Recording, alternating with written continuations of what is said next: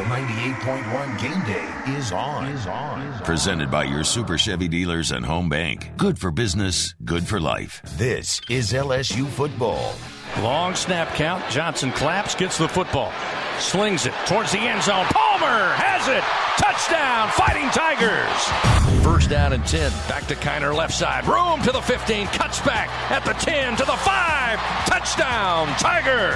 LSU football on Eagle 98.1, the flagship home of the Tigers. Tonight from Tiger Stadium, it's the LSU Tigers. And the Central Michigan Chippewas. Now, now, now, live from the Mercedes Benz of Baton Rouge studios. Here's Matt Moscona and Jeremy Hill. Good afternoon and welcome to Eagle 98.1 Game Day. I'm Matt Moscona. Jeremy Hill will join me shortly. I thought about reasons to be excited about this game today. And I really didn't come up with any. I could try to sell you on Jim McElwain coming back to Baton Rouge for the first time since uh, 2016 when he was the Florida coach. I could tell you about how Central Michigan went toe to toe with Missouri a few weeks ago I could extol the majesty of a college football Saturday and how we should just appreciate all of them, no matter who the Tigers are playing. Look, all those things are true. And so is human nature. LSU was embarrassed by UCLA. They struggled against McNeese. Fans know what this team's issues are and what's ahead with the daunting schedule. Optimism is not particularly high, and that's understandable. So that's what today is really about. Today isn't about Central Michigan or whatever challenges they may present. Today is about LSU getting better. After all, teams are allowed to improve. If you can remember the 2017 season, or maybe you've chosen to forget, LSU got blown out 37 to 7 at Mississippi State, dropped a home game to Troy. Nobody saw that team going anywhere. A week later, though, they beat Florida and coach Jim McElwain in the swamp and finished that season six and one in their final seven, with the only loss to Alabama. That team found its stride. And that's what this LSU team needs to do today. Daronte Jones needs to adjust to his personnel. The LSU offensive line needs to play like the SEC athletes they were recruited to be. Max Johnson, this offense, they need to find their rhythm. This is a talented football team. They just need to play like it. And they need to do so in a hurry because a trip to Starkville is on deck next week. And there isn't another breather until ULM comes to town in late November. So put on your purple and gold, grab a cold one, maybe a bowl of gumbo or etouffee. Enjoy a football Saturday in Baton Rouge because they are all grand. It's the Tigers and the Chippewas. We're counting you down right here on Eagle 98.1 Game Day.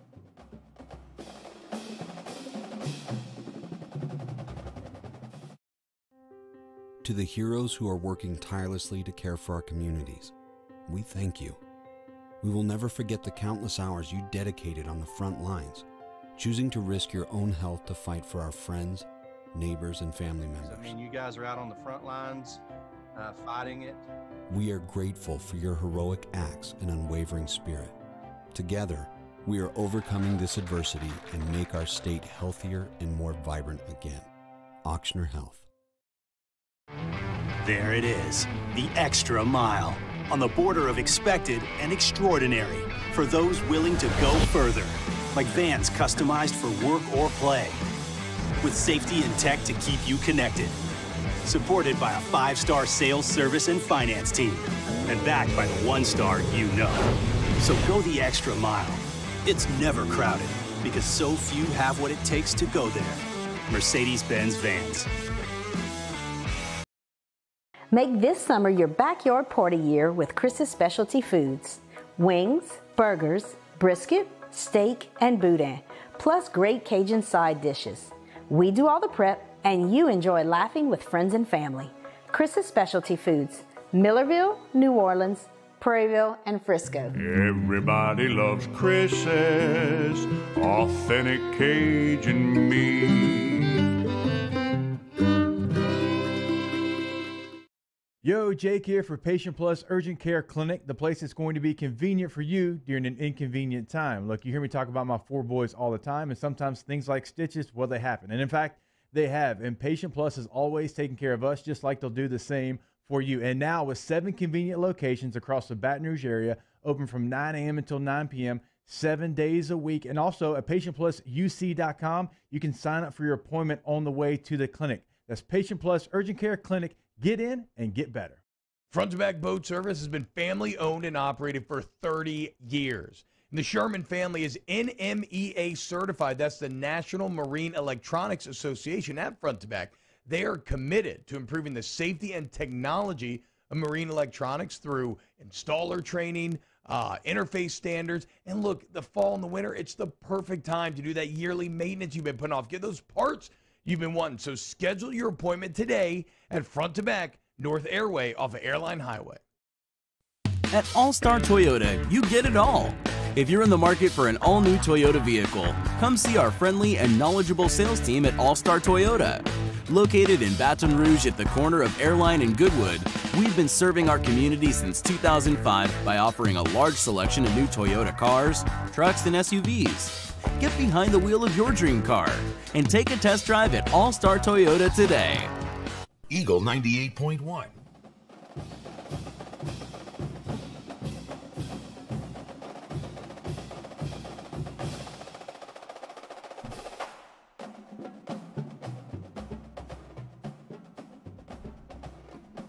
Glad to have you back with us here on Eagle 98.1 Game Day. Matt Moscona now joined by Jeremy Hill as uh, the Tigers and the Chippewas get set to do battle tonight in Tiger Stadium. Good to be back with you, man. How are you today? I'm doing good, man. I'm Yeah. excited to see the Tigers bounce back this week, man. McNeese was a little, uh, let's see if we can do something with the Chippewas. How much? Like, I mean, come on. Let's.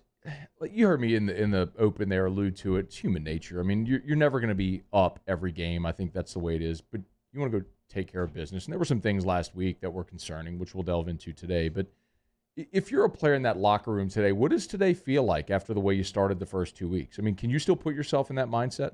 Oh yeah, oh yeah. I know uh, for me specifically, I remember when we played Towson, and it just was a weird game. Oh God, I remember that. Game. It was just an ugly game. Like no one felt like they were ready to play, and they were like in the game with us at halftime, and it was just like it's just dead. And we got ripped to pieces by our coaches, and then we kind of played better in the second half. But it happens, man. You have those letdowns, and uh, it's a long season. You got school classes, a bunch of stuff going on for these young college kids. It's hard to really stay locked in on the task at hand. So weeks like that, you kind of it's hard to get up for a Towson or a Central Michigan or a McNeese, but you have to because these games matter. Um, you, you got to start playing well and putting those good plays together, those good games together, and that's what you know propels you into SEC play. So it's so important this game for this team to answer a lot of the concerns that we have. And really, I think for me, what I'll be looking at is how do these new coordinators really you know make the adjustments from week one and week two.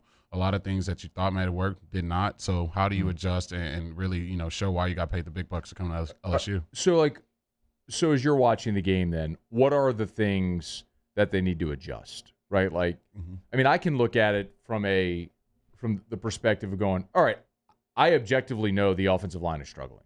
Like they they struggled to get a push and create gaps against McNeese. So how do you fix that this week against Central Michigan? Like how does the core what does it what does Jake Peetz do this week to fix that part of the game? Yeah, I think as coaches, you got to swallow your pride. Um, I know Les Miles, that was his whole thing. It didn't matter if, if Alabama had six first round draft picks on the D line, we're Oh, running it right. right at him. He didn't care.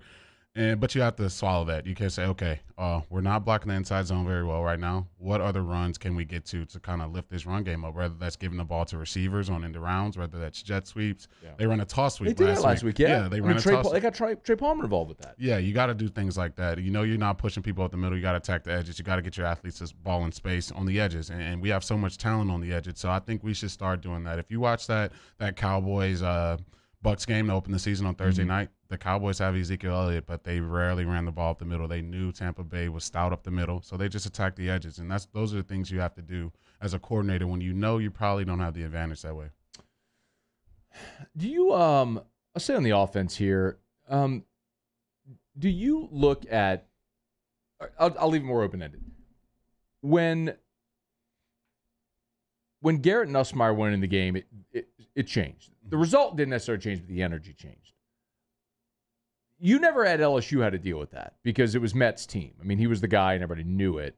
Um, yeah, I but I do wonder like is what we saw last week a product of just Nussmeier's aura being a guy that's just going to maybe bring a little more energy, or you know, or was that um was that just you know product of the the backup going in and it just there's always a little more excitement when the backup goes in. Yeah, we all know the most popular man on LSU's campus is a backup QB. That's a, a running joke it for wasn't, a long time. It wasn't in 2019, but I was quite content with the dude who was under center that year, bro. yeah, but I, I, think I think a lot of that is uh, you know the guys that came in with Garrett. Uh, they're all that in that freshman class, and, and a lot of those guys were in the game at that time. So those guys spend the most time together. So you know, you want to play well with the guys in your class, the guys you're doing all the workouts with, study hall with. They just spend way more time together. So you kind of saw the guys that were out there with them. They kind of responded a little better to, to Garrett because they spend so much time together. But I wouldn't put too much past that. Um, I think Garrett did a great job for, for what the situation was asked for him. The run game really wasn't there. Yeah. And uh, some of the receivers giving him some drops. But I think he played hard. He took care of the ball best he could.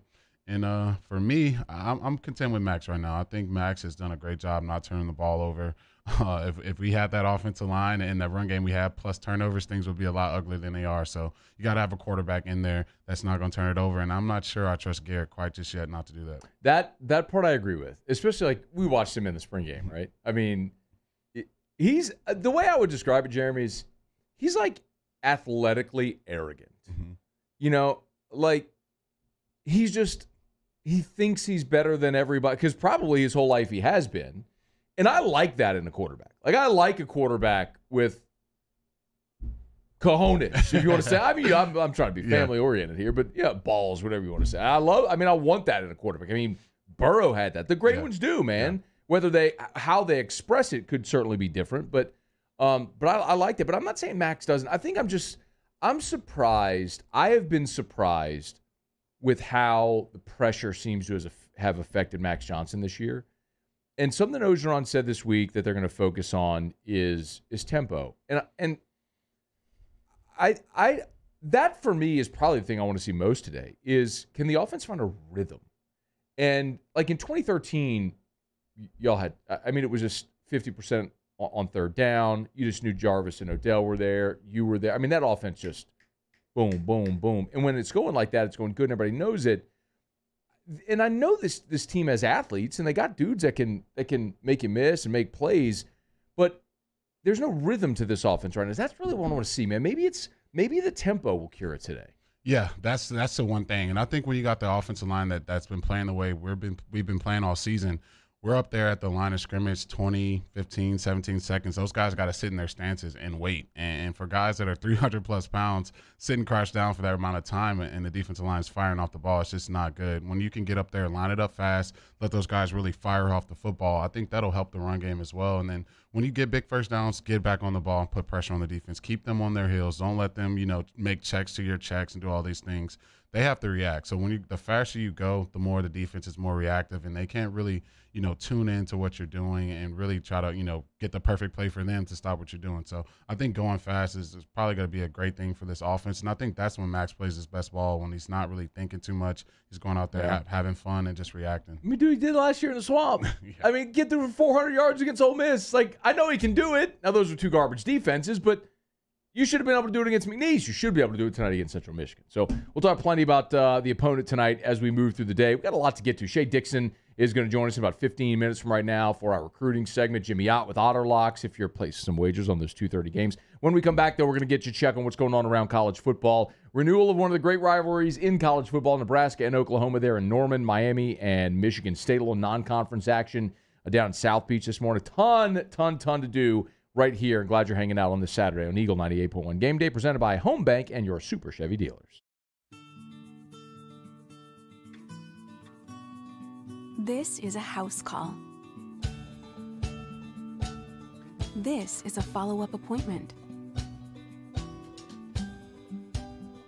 This is a diabetes checkup. This isn't just more convenient care, it's more advanced care this is innovating healthcare at Louisiana's number one hospital, Ochsner. Gulf Coast Office Products is a nationally recognized Savin office equipment dealer based right here in Louisiana. Over 100 employees strong, Gulf Coast has the boots on the ground to support all vertical markets from education, engineering, legal, and finance. With the latest in office technology, from desktop to production segment units, Gulf Coast and Savin have the perfect fit for you. Call 225 756 2644. That's 756 2644 for Gulf Coast Office Products. There it is, the extra mile. On the border of expected and extraordinary for those willing to go further. Like vans customized for work or play. With safety and tech to keep you connected. Supported by a five star sales, service, and finance team. And backed by the one star you know. So go the extra mile.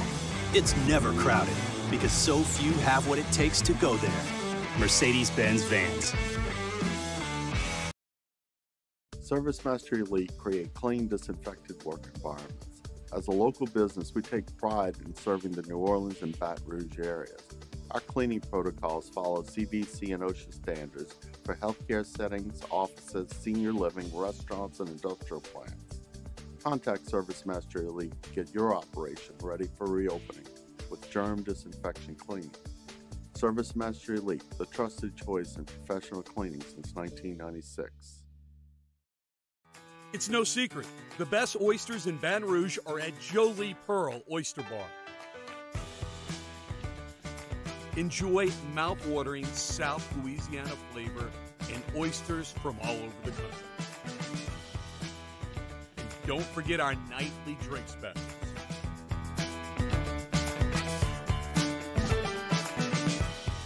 Jolie Pearl Oyster Bar, located in downtown Baton Rouge.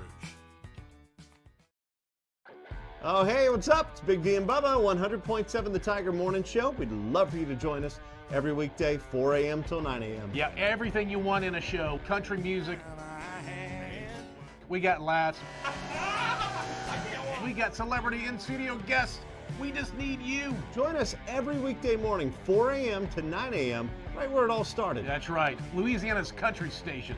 100. Eagle 98.1. The Magnolia Bluffs Casino College Football Scoreboard. The Magnolia Bluffs Casino Hotel in Natchez. It's not what you play, it's who you play with. All right, the morning games are underway already in the second half. Let's go through the top 25, then we'll catch up on the SEC and the rest of college football. Uh, renewing one of college football's oldest rivalries, Nebraska and Oklahoma. They're in the fourth quarter in Norman, OU leading 23 to 9 and Oklahoma has just picked off Nebraska near the goal line. You think that might be play of the year? Oh, that may be play thus far for sure. That's a full extension, one-handed interception, and uh, those don't come by often. So you got to tip your cap to the defender on that one. That was a big pick. Adrian Martinez for the Huskers, 15 to 20 for 241. Eric Gray, the former Tennessee running back, now at OU, 13 carries for 64 yards in that ball game. OU trying to polish off the Huskers. Uh, in the SEC, seventh ranked Texas A&M, no problem with New Mexico, 34 to nothing. Zach Calzada, who was just we talked dude, he, we, we talked about him last week because he was he was brutal. Um, uh, but having a nice day. Well, 18 to 31 isn't exactly efficient, but 272 and three scores. Isaiah Spiller. Would you just lean on Isaiah Spiller, please? Yeah, He's please. one of the best running backs in the country. Uh, eight, 15 carries for a buck 18 and a touchdown. Um, how about a little bit of an upset alert? Four minutes to play in the third. Uh, Cincinnati and Indiana, uh, the eighth ranked Bearcats in Bloomington, they lead by three, 17 14. This was a 14 nothing game. Indiana led in the first half. Cincinnati has rallied with 17 unanswered. Again, four minutes to go in the third. We'll keep you up to date on that one. Are you a believer in Cincinnati at all? I never was to start the season. They start the preseason poll at number nine. I just those non-power five schools, man. They, they don't still do anything for me. They got to earn it, and unless you schedule a tough non-conference schedule, I'm just not gonna believe it. I mean, I am the biggest college football elitist ever. Ever. I don't care at all. If you're if you're a non-power five, I'm not. In, and some of the power five, I'm not. Like Vanderbilt, don't care. Kansas, kick rocks. Like C- Cincinnati, Cincinnati. Tell me about Cincinnati in a playoff. My my contention has always been, you want respect? Schedule all four non-conference games against Power Five teams on the road. Go do that. Win them all. Win your conference. Then we can have a conversation. Until then, I'm not interested in talking to you. Uh, West Virginia at home in Morgan, Morgantown, hosting Virginia Tech. And the Mountaineers up 27 to 13 on the 15th ranked Hokies early in that one. Uh, Jarret Doege, the uh, quarterback for West Virginia, 14 to 24 for a buck 88 and two scores. Uh, Coastal Carolina 16th ranked and on the road they're beating Buffalo 28 to 17. Again, we're keeping an eye on here in studio. Miami just scored to pull within 3. So it's Michigan State 17, number 24 Miami 14. There's 353 to play in the third quarter. Um, D'Eriq King, Miami to start this ball game was driving, really setting the tone. Then D'Eriq King fumbled, and since then, the Miami, Miami offense really just kind of scuffled a little bit. Let's see. Number 25, Michigan, pounding Northern Illinois 63 to 3. Uh, just underway, Purdue and Notre Dame. They're in South Bend. Interestingly enough, Drew Brees is calling that yeah. game for Purdue, uh, his yeah. alma mater against Notre Dame. Uh, no score there as they've just gotten started. Uh, the 2:30 slate is coming. Alabama and Florida, of course, and CBS. Kent State is at fifth-ranked Iowa. Sixth-ranked Clemson at home against Georgia Tech. Ninth-ranked Ohio State trying to shake back against Tulsa. 20th-ranked Arkansas. 20th-ranked Arkansas. Who would have had, to do, had to do a double take. 20th ranked Arkansas uh, at home against Georgia Southern. Number two, Georgia is at home against South Carolina tonight. That game is on ESPN. Fourth ranked Oregon at home against Stony Brook at 6:30. The big one tonight, 6:30 p.m. on ABC. It's number 22 Auburn at 10th ranked Penn State. You have a feeling on that game? I think Auburn gets it done, man. I I, I saw a stat. Uh, Penn State's eight and eight in their whiteout game, so so much for oh, whiteout. Wow. So let, us let's, let's see what the Tigers do when they come to town. You know what that reminds me though? It's like LSU in day games, yeah. and people are like, oh, they can't play day games. Well, no, you're just playing the 2:30 game against a really good team. That's why CBS picked it up at 2:30. You're really good at night games because a lot of times you play night games against Central Michigan. So I don't know so much that I say just the. I think it's more just that you're playing a really good opponent. I think Penn State's going to be sky high. I'm, I am fascinated to see what we learn about Auburn tonight because they have kicked the ever living dog poo poo out of Akron and one of the SWAC teams, uh, yeah. Alabama State. Yeah, like they scored 60. They won by 60 or more in back-to-back games for, for the first time since the 1930s. like, yeah. okay, right, now let's see what you do on the road against Penn State. We'll find out. Uh, 21st ranked North Carolina tonight. They're at home against Virginia. Ole Miss, 17th ranked. They're at home against Tulane tonight. See the Tulane unis? Oh yeah, yeah. What do you think about the helmets? Don't they have the light blue helmets or something like that? Well, no, they they put a new decal on. It's like a it's like a little cartoon man holding a, a Tulane flag. I gotta see those. I gotta uh, see those. We'll see if we can pull it up. It's uh, Tulane is is um they're stepping up their uniform game big time. I'm a uniform nerd, so I kind of pay attention to that sort of thing. Uh, 20, uh, the last of the ranked on ranked matchups 23rd ranked BYU at home against number 19 Arizona State. BYU off the big win over Utah last week. Arizona State, a three and a half point favorite on the road. Iowa State is on the road at UNLV. By the way, that game, UNLV's uh, home stadium now is Allegiant Stadium where the Raiders okay. play. So they're no longer playing at Sam Boyd. So UNLV hosting Iowa State, 14th ranked, coming off the loss last week at home to Iowa. I will see if Iowa State can bounce back. And then keep an eye on this one UCLA at home against Fresno State in the Rose Bowl. Fresno, remember week one challenged Oregon? Yeah. Not a bad Fresno State team, man. They're on the road against 13th ranked UCLA, who's 2 0 on the season, of course. And uh, LSU fans got to know uh, UCLA really well week one. We're going to keep our eye on that. So that's the top 25. Around the rest of the Southeastern Conference today, when we look at uh, the rest of the action uh, in in action already.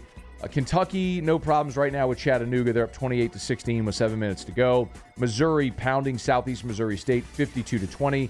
Tennessee against Tennessee Tech. The Vols rolling 49 to nothing. Hendon Hooker yeah. got the start in that ball game. Uh, he's thrown for 199 yards and three scores, also nine carries for 64 yards and a touchdown. Do you have a feeling, Joe Milton, Hendon Hooker, like what they do there? Yeah, I, I, leave Hooker out there. Uh, Milton is they, they were in that Pitt game, but Milton just did everything he could in his power to make sure they didn't win that one. So I like the direction they're going in. Get another guy in. They're going so fast. That tempo is unreal. So I think Hooker's going to do a better job all season than Milton. One hour from right now, Mississippi State is on the road at Memphis. I'm putting Mississippi State on an upset alert. I think Memphis might might actually win that ball game uh, today. It's a tricky spot for Mississippi State. Big emotional win last week against NC State. Now next week they're obviously hosting LSU and you got to go on the road to little old Memphis and play in the Liberty Bowl. It's one of those sleepy. Memphis can score. That's going to be an interesting one. Um, yeah. No, go ahead. Yeah, I, I think so. I, I was. Uh, I thought Mississippi State would win that game last week, and they did. And I see what Leach does this week. It's going to be a big test. It's normally these are letdown games, so let's see how he gets the troops ready to play. Uh, Stanford, battle of smart guys. Stanford is in Nashville to play Vanderbilt tonight. Uh, good, good for Vandy. Vandy Yeah. got a win last week after losing to East Uh. Tennessee State. We all dumped on them. They were a touchdown underdog at Colorado State. Managed to win that game, so good on them, man. Yeah, Vandy. Yeah, Vandy. Uh, yeah, that that win, I, I probably still have them under under under two wins for the season, man. I just don't see how they do it. Stanford pounded SC last week. Got Clay Helton fired. Let's see how Stanford maybe handles a, a little bit of success. Let's see. Um, other games in progress right now. Forgive me as I get back to the screen that I need to be on. Um, Pitt, keep. Let's talk about struggling with, with success. Pitt, with the big win last week at Tennessee, they're tied with Western Michigan right now with five minutes to go in third. It's 34 all. Pitt can't stop anybody today. uh, that game's on uh, on ESPN Plus. Syracuse pounding Albany. Boston College 28 to three lead at Temple with four minutes to play in that ball game. Army pounding UConn 52 to 14. Minnesota is up on Colorado in Boulder 13 to nothing. Big letdown spot for Colorado after you know the, the near upset last week of Texas A&M. Kansas State and Nevada are tied at seven with 14 minutes to go in the second quarter. Purdue has put a field goal on the on the board, so Purdue leads Notre Dame early three to nothing. Notre Dame with the ball in this ball game around midfield, and Jack Coan just got popped. Did he fumble that? That's fumble. That's a fumble. They got it. Notre Dame recovered, Yeah, but right around midfield, Jack Coan got hit as he was thrown. I think they ruled it was a fumble. There's a flag, so we'll check it. All right, it's Eagle 98.1 game day. Of course, we'll keep you up to date with all of the action going on around college football today as we're hanging out with you for the next two and a half hours, counting you down to kickoff of LSU and Central Michigan. We will knock out a quick break as we do every single Saturday. It's our recruiting report with Shea Dixon of Go247 that's coming up next right here on Eagle 98.1 Game Day presented by Home Bank and your Super Chevy dealers. And our topic today is about savings. What is savings? Hancock Whitney isn't just a bank for our clients. We're investing in our hometowns, making life better for everyone. So keep dreaming. We've got your back. This isn't just another day, it's so much more. Kelly's life was put on hold when her Ochsner primary care doctor discovered a rare blood disorder. Her doctor connected her to an Ochsner care team of cancer, heart, and kidney specialists. With multiple primary care locations around Baton Rouge, same day appointments, and online scheduling, we're relentless about keeping you healthy. Ochsner Baton Rouge, innovating healthcare for Kelly. I'm Jay Ducote. I grew up learning how to cook at LSU tailgate parties and right in my own backyard. And I created JD's Louisiana products to bring that Louisiana flavor to you at home for your backyard cookout. JD's Louisiana barbecue sauce, Louisiana molasses mustard, spicy and sweet barbecue rub, and more are available at your local supermarkets or by logging on to jducote.com slash shop. Put in promo code CST for 25% off at checkout.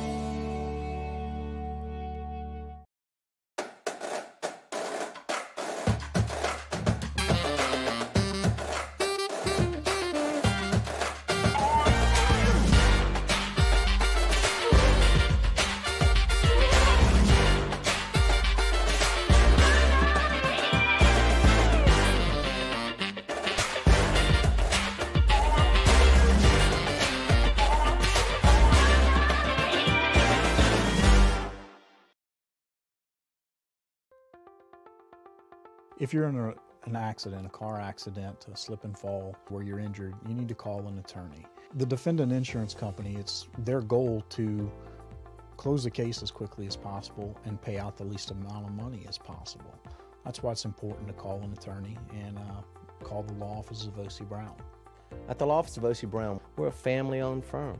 We want to be your law firm for a lifetime.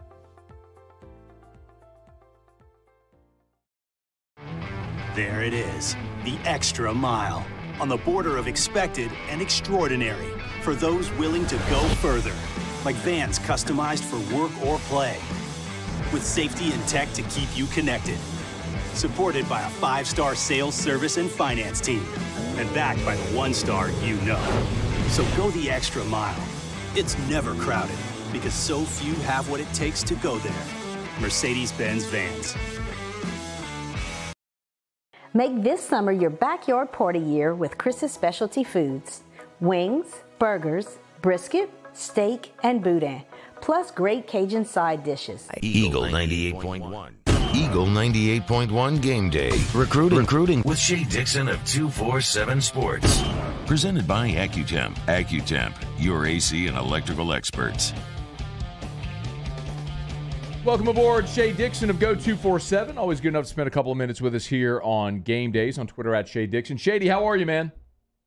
I'm doing great. Thanks for having me as always. It's our pleasure, man. We appreciate some time. Um, as I understand it, no visitors today. So let's talk about, let's start with where this current class stands as everyone's sort of keeping an eye on recruiting and uh, where this class is for the, for the Tigers as we approach that December signing day.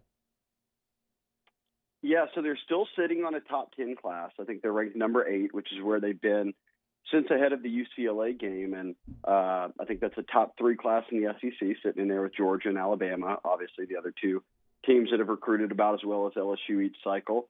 And it's still heavy on Louisiana guys. I mean, that's where it's been, and the guys who have stuck. I think they're at 15 commits right now, Matt. So 25 total. You've got 10 more spots, but uh, I think things are going to get interesting uh, these next few months and into December signing day and February in the off season if the NCAA moves forward with at least some of what we saw reported this week uh, about how the transfer portal once again uh, could take a shift and and maybe towards righting some uh, some roster woes that a lot of these teams are battling.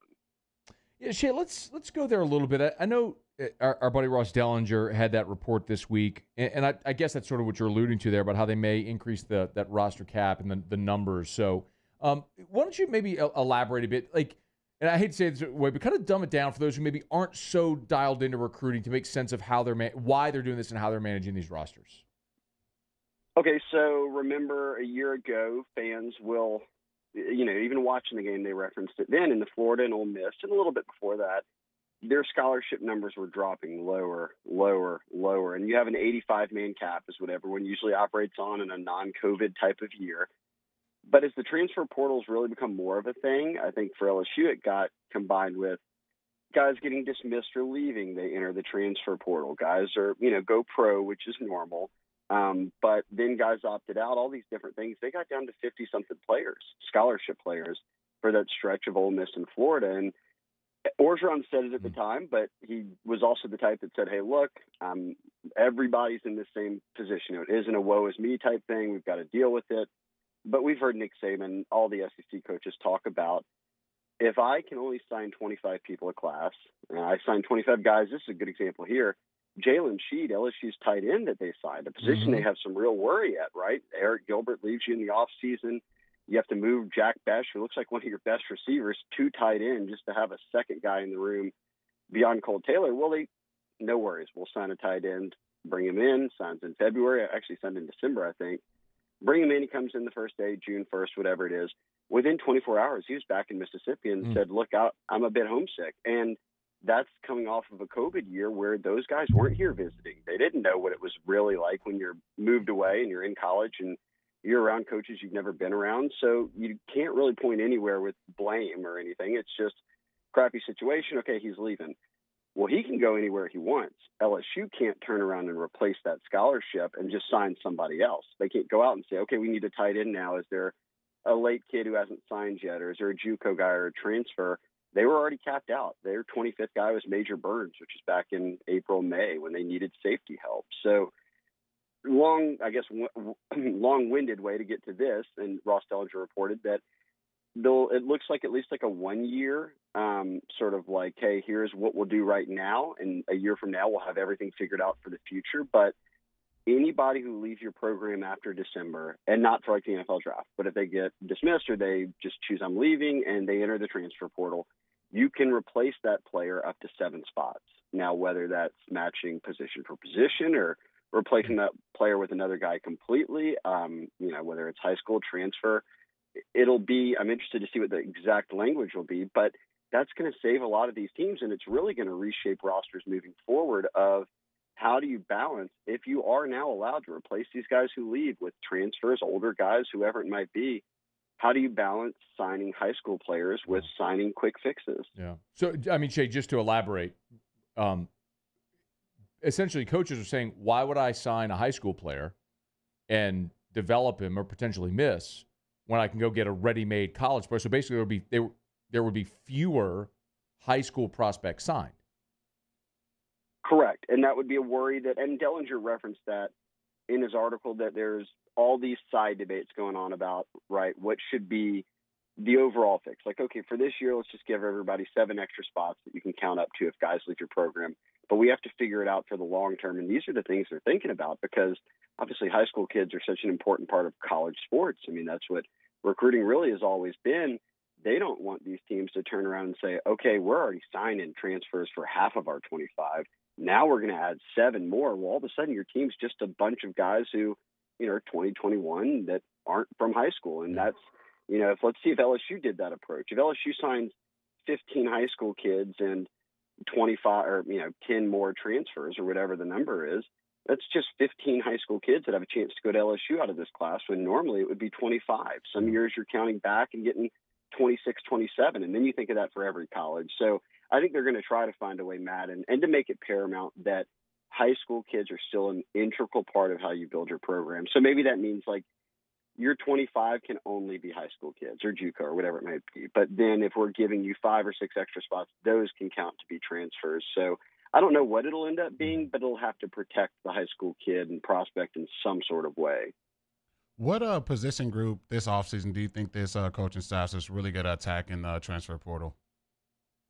You know, I think as we get further in the season, Jeremy, we see more and more that the answer has got to be the offensive line because the strength of this O line, right, was that they were all veterans and that, you know, a lot of guys like Austin Deculus, for instance, takes advantage of the COVID year and comes back when normally you would have lost them. Well, the thing then Liam Shanahan the same. The thing with that becomes after this year, these guys are all done, and you've got to presume Ed Ingram's probably going to move on and and test NFL waters. We'll see, but you'll be in a position where you're already going into SEC play a week from now, saying, "Man, we really need the offensive line to step up in a big way for us just to get a run game going, for us just to get our quarterback comfortable, not like for us to be the best O line in college football. I mean, it's just to to make things happen on Saturday versus whomever the opponent is." I think that has now turned you to the reality that okay, unless we really feel good about some of these young guys, and I think Garrett Dellinger, guys like that, uh, who are just into the program. We've seen Xavier Hill play some left tackle now. Perhaps they do feel good about some of these younger guys, but that's development, and and I would think that Brad Davis isn't wanting to have to rely on them this year or throw them into starting next year without knowing who their, their backups are. So I think that O line is one that, that we could end up seeing on this team next year two, maybe three guys who transfer in and are starting on the offensive line. Mm. I know you said this is the number eight class in the country. How does this coaching staff keep this recruiting class together heading into SEC play?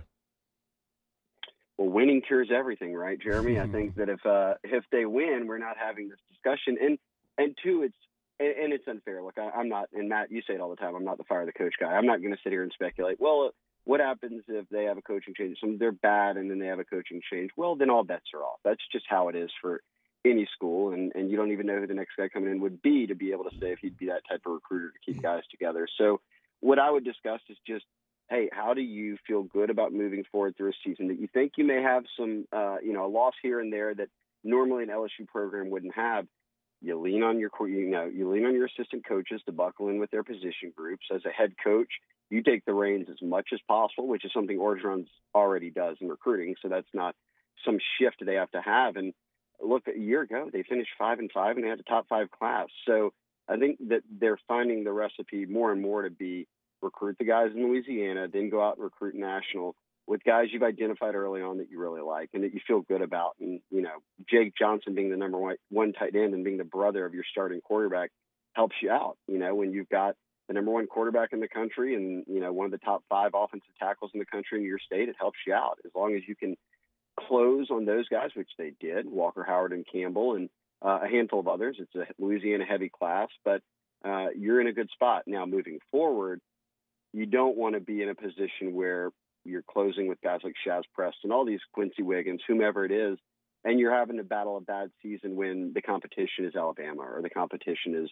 Georgia or who, you know whoever it might be that's having a really great season. So I think winning cures all, but this is a staff that at least is built from the top with the knowledge that recruiting is paramount and what the you know the product in the field and is something we can sit around and debate all day and and certainly they've got some uh, criticism coming their way this year, and that's been correct to, to send out. But recruiting wise, I think they've been solid. They've not lost anybody out of this state yet. It's been a couple of cycles, really, since Devonta Smith, since they have.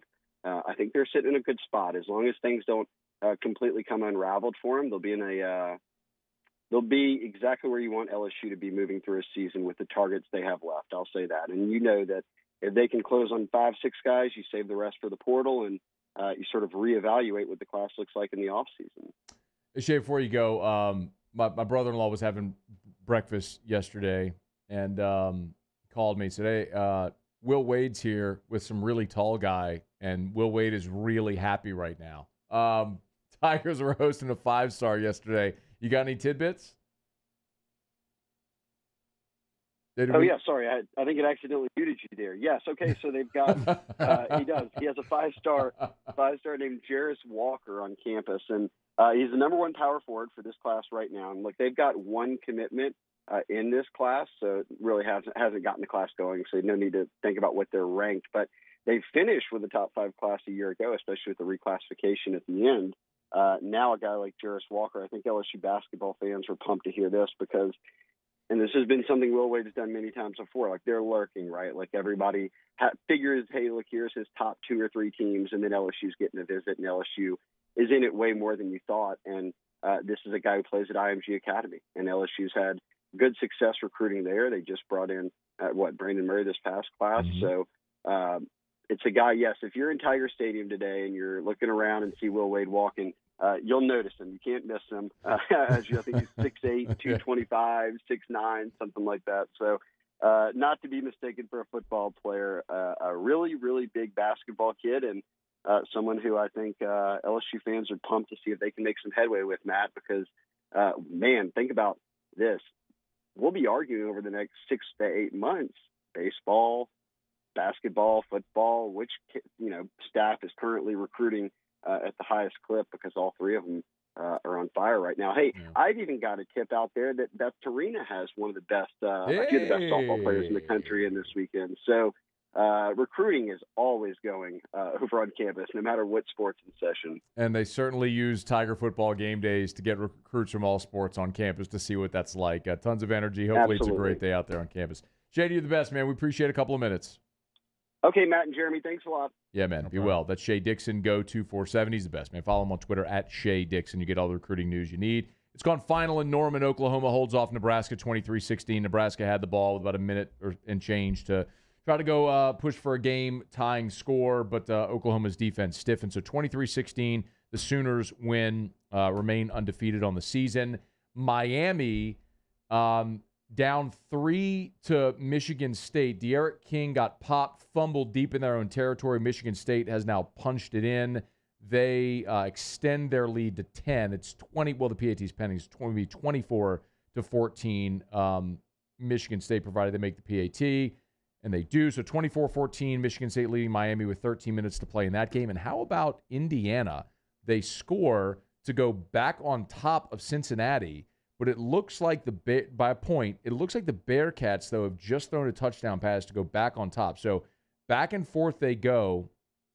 Uh, they did okay. So back and forth they go. Cincinnati now leading Indiana 29-24 with the two-point conversion pending here with 12 minutes to play in that game. So number eight Cincinnati regains the lead, but very much on upset alert there in Bloomington. We'll keep you posted.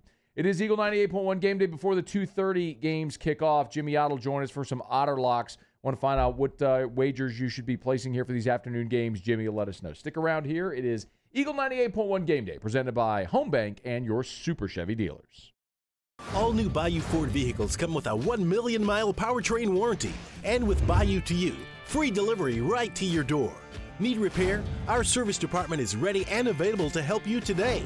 The crew at Bayou Ford is going to do right by you. Yo, Jake here for Patient Plus Urgent Care Clinic, the place that's going to be convenient for you during an inconvenient time. Look, you hear me talk about my four boys all the time, and sometimes things like stitches, well, they happen. And in fact, they have. And Patient Plus is always taking care of us, just like they'll do the same for you. And now, with seven convenient locations across the Baton Rouge area, open from 9 a.m. until 9 p.m., seven days a week. And also at patientplusuc.com, you can sign up for your appointment on the way to the clinic. That's Patient Plus Urgent Care Clinic. Get in and get better. I've been doing business with Luba for 25 years. They're dependable, trustworthy. It's just the attention to detail with our clients. Uh, our folks have years and years of experience. They're highly trained professionals. But many companies have that asset. What I'd like to think makes Luba a bit different is that we use those talents in a way that truly is dedicated to serving the needs of the folks who depend on us. Front to Back Boat Service has been family owned and operated for 30 years. And the Sherman family is NMEA certified. That's the National Marine Electronics Association at Front to Back. They are committed to improving the safety and technology of marine electronics through installer training, uh, interface standards. And look, the fall and the winter, it's the perfect time to do that yearly maintenance you've been putting off. Get those parts you've been wanting. So schedule your appointment today at Front to Back North Airway off of Airline Highway.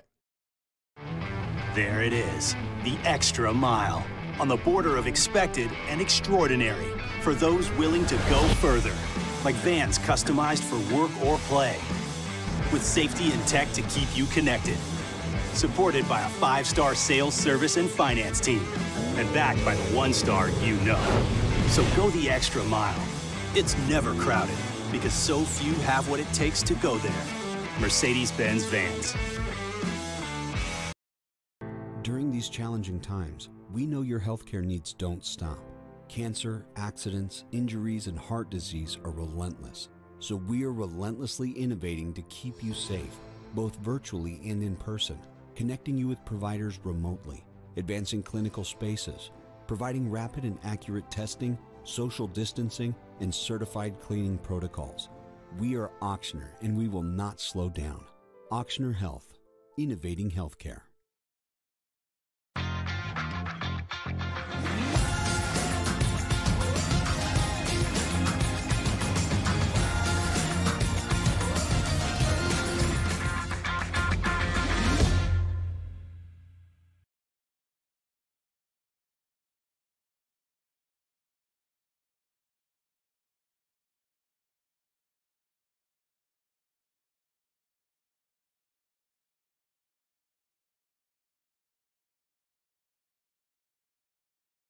Eagle 98.1. Eagle 98.1 Game Day. Otter Locks. Otter Locks. Presented by Lofton Staffing Services. Lofton Staffing Services. For over 40 years, providing staffing solutions to make your company more efficient, cost effective, and profitable. 924 0200 and loftonstaffing.com. Now, here's Jimmy Ott. All right, still gloating after a perfect week is uh, the Ott father, Jimmy Ott, but we'll let him gloat, especially if that means he's handing us winners and we're cashing tickets. Otter, how are you? Not great. Oh no! What? You know what? That's what you get for gloating. You pissed off the gambling gods, and what? You had a rough morning, I'll bet. What did you do this morning?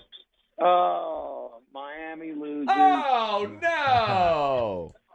Army gives Oh, up two two no. fourth down conversions to. uh Now we we we first half that one a lot too because I thought Army would be up so much they would pull our starters, which they did. They're up 35 at half. They're covering, but then they um two fourth down conversions. We're set up to hit a big old middle, and it just did not happen. Cincinnati's down. So yes, Handy Handy Handy warned me yesterday. So Yeah, I heard a him. tough early slot and. Please don't let Virginia Tech score again. They just scored to cut it to 27-21 with 3.10 to go. So Fade the that otter! would- Fade the otter! I saw a lot of those guys at the free cheese line, the welfare line the other day with the fade the otter shirts on. So, you know, there you go. You keep on fading me, baby. That's all right. That's right, man. I'm, I, got, I got my money in game coin, bro. I don't need to fade you. I'm good. Um, all right, let's talk about some of the let's talk about some of the action today. Um, God, dog, you like a whole bunch of games this afternoon, this evening. Hey, I want to start with um, I got your list here, but I want to start with the big one this evening with uh, with Penn State and Auburn. Uh, what's what's your uh, your feel there with about a five point line? Man, this is a this is a public dog, you know, and uh, I do a, a little segment for Bet Rivers called "Chalk Early, Dogs Late." It's one of my you know my gambling Mhm. basic gambling philosophies. You you you're going to get a better number on a favorite early in the week. You're going to get a better number on the dog closer to game time. And, you know, it's kind of works like that a lot. This is different. This is a public dog where the action is coming in on Auburn. So I can't tell if Bo Nix has improved by what they've played so far. 20 of 22 against Air is great, but I don't know, man. If if I had to put a line on Air versus the SWAC, probably a pick 'em. Mm. And he was like, you know, 10 of 22 against Alabama State. So I just, um, I don't know, man. This is a whiteout night. I thought Penn State was fortunate to win in Wisconsin when they got out first down, 29 to 11. I kind of like Penn State at home. Nix's numbers are not even close on the road as what they are at home at Jordan Hare. So I'm going to fade the public dog here and take the Penn State minus five. Uh, let's look at some of the two thirty games, Otter. What you, what you got playing uh, here in this these this window coming up in about ten minutes? I mean, I give you the dang list, man. You know, can't you just follow the script, huh? I mean, I have the list, Jimmy, but I but all you did was give me the picks, and I don't know which games are kicking off at two thirty. I'm just trying to bunch them together. It's dark in here, man. That's a All right. sports book. All right. So here we go. I got my key. All right, Memphis and Mississippi State go at three. Okay. Um, Mississippi State uh, return the opening kickoff, 100 yards for a touchdown. Uh, NC State turned the ball turned the ball over three times to uh, you know it, that kind of spoiled their comeback. I thought they just kind of got a little bit fortunate uh, last week. So Memphis is going to move the ball. They got them at home in the Liberty Bowl. So I'm going to take that three and a half uh, because what the state did last week, I don't know if it's sustainable. What about Florida? You like Florida with the points against Bama today? Yeah, it's, it's up to 16 over here in Natchez. It's Wow. 14 in Vegas. It pays to make the drive. So, Yep. I mean, I, I, I like Dan Mullen. Um, Mullen's 0 10 straight up against Nick Saban, but he's 5 and 3 against the spread in the last eight of those meetings. Um, of course, Richardson's health is going to be a big deal today. Um, but I just think this guy is, can kind of keep it close. I like him on the bench uh, in this spot, and man, you know the swamp is going to be popping today, and the home field, the home field uh, crowds have made a big, big impact on the games. It's almost like they they've built up a little bit after a year off last year. So I, I'm I got to take all of those points in uh, Florida at home in the swamp. Um, are you actually going to place your hard-earned money on the Kansas Jayhawks? Yeah, the same hard-earned money I had on Army, same hard-earned money I've got here trying to hold on to Cincinnati, West Virginia. No Bitcoin, it's hard-earned money, cash, baby. Uh, game coin, Otter, not Bitcoin. Game coin. okay, man, you know, I just I mean, look, can't teach your old dog new tricks, you know. Mm-hmm. Unfortunately, Here's one for you. Here's a 2:30 game. All right. Um, Kirk Barrington. One of the stories of the season early on, and you know what? If we were just putting out uh, rankings based on results alone, shouldn't Iowa be number one in the country? You know, with those two wins Sure. against Indiana and Iowa State, um, they they're, they're so good defensively. They're they're kind of plotting. They're still the same, but Kent State likes to get up and down. They um their their their scoring numbers this year and previous years seem like they're kind of a, an over team, but not in Iowa, not at not on, on the grass there. They're going to shorten the game under 56 and a half. I don't like totals too much, but I do like the under in the Iowa Kent State game that's going off at 2:30. uh, and a couple more. I see you like uh, Liberty. Why do you like the fighting uh, Hugh Freezes today? Uh, I just think they just they just roll here. Uh, hard fought win at Troy last week. Um, they showed me something though. They they played defense and uh, you know held uh, Troy to under uh, 200 yards. Uh, Old Dominion, th- this just in. They're not real good. Nancy Lieberman eligibility's way up. So give me those two freezes, the Liberty, and give me minus 28. I know it's a big number, but give me uh, them minus 28. You freeze looking for a job. Here's an onion stick for you. All right. Baylor and Kansas. Okay, Kansas, Kansas in that game against Coastal last week. That was uh, what 28-23 in the third quarter. They only got outgained by about 50 yards. Um, Kansas was 0 of 5 on fourth down. Those are basically turnovers, and they still only uh, they only failed to cover by just one point. Uh, Dave Aranda, he's heavy on the run, difficult defensive coordinator running the show now. Two to one run to pass ratio. Man, I like I like uh, Kansas at home, and don't underestimate the uh, the impact of a home crowd in Lawrence, baby. they, they, it- so, So- give me give me the listen. It takes it takes some uh some kahunas, man, to put it on that hard earned money game coin on the Uh, Jayhawks plus 18. Thank you, Game Coin. So Jimmy, I gotta ask you, what in the world makes you want to put your hard-earned money on Emory Jones in Florida, man? That, that kid's gonna turn the ball over today. Letting you know. You know, do you remember the game two years ago when we had our best team in 2019 uh, and Trask came in with the injury? Jones is Jones is okay. He's been there a while. I mean, has he developed uh, any a whole lot as a passer? No, but look, Jeremy, if they're not going to get up for this one, when's that crowd going to get up? And man, the home crowds are just really playing a, a big factor. Keep in mind, okay, you know, uh, Alabama. This is the first. There's a lot of new players, including this quarterback, and it's an old, old gambling angle that I've always used. Go against a, a, a freshman quarterback or a young quarterback on his first road start in front of a hostile environment. That's what Bryce Young's doing today. I know he's, you know, and I just that's a lot, a lot of points. It's it's tough to go against pick against Bama, but I'm going to go against them right here. All right, uh, you like Georgia Southern as well with the points uh, on the road against Arkansas. A little letdown spot for the Hogs, maybe.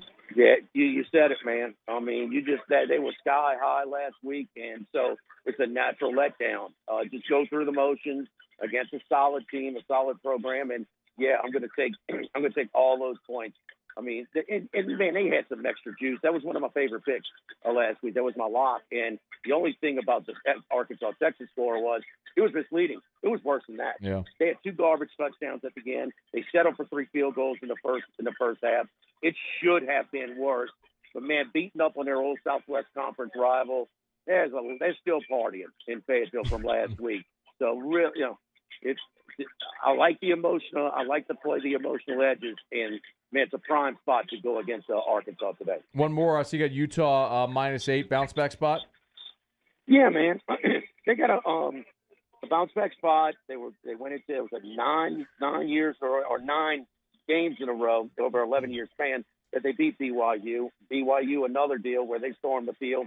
Uh, San Diego State that kind of came out of nowhere uh, last week, and I don't think it's just sustainable. I'm going to go back with the uh, the favorite here, Utah at San Diego State. Not much of a home crowd at um, in San Diego, so I'm going with uh, Utah minus eight and a half. All right, uh, the Otter giving you eight picks. He likes Kansas, Louisiana Tech, Florida, Memphis, Liberty, Utah, Penn State, and Georgia Southern. Otter's up there at uh, Magnolia Bluff. Otter, uh, who brings us the honor of your presence every single Saturday here on uh, Eagle 98.1 Game Yeah, Day? our, our friends over at Lofton Staffing Services. I mean, does every building in town have a help wanted sign? So tired of trying to pull your staff together? Uh, let uh, you know, call Lofton Staffing 924-0200, 924-0200. They recruit, screen, and interview people so they're right for the job. Your business needs administrative, industrial, even medical personnel. Lofton is the right person to fit your needs. Many businesses also use Lofton security personnel. They're trained, licensed, dependable. No matter what you need, temp to hire, direct hire, Lofton does it all. And they handle all of the payroll function as well. Lofton, leader in staffing and business, have trusted uh, trusted them for over 40 years. Lofton Staffing Services, 924-0200, loftonstaffing.com. Lucky coin, baby. Game coin, baby. Hard earned money, baby. Give me some of that gator bait. Game coin, Otter. Game coin. All right, we'll talk to you later. Thank you, Jimmy. All right, that is Jimmy Ott. This is Eagle 98.1 Game Day. Uh, your uh, cohort during the week, Hunt Palmer, will join us next for a game day version of Hunt and Hill. Stick around. It's Eagle 98.1 Game Day presented by Home Bank and your Super Chevy dealers.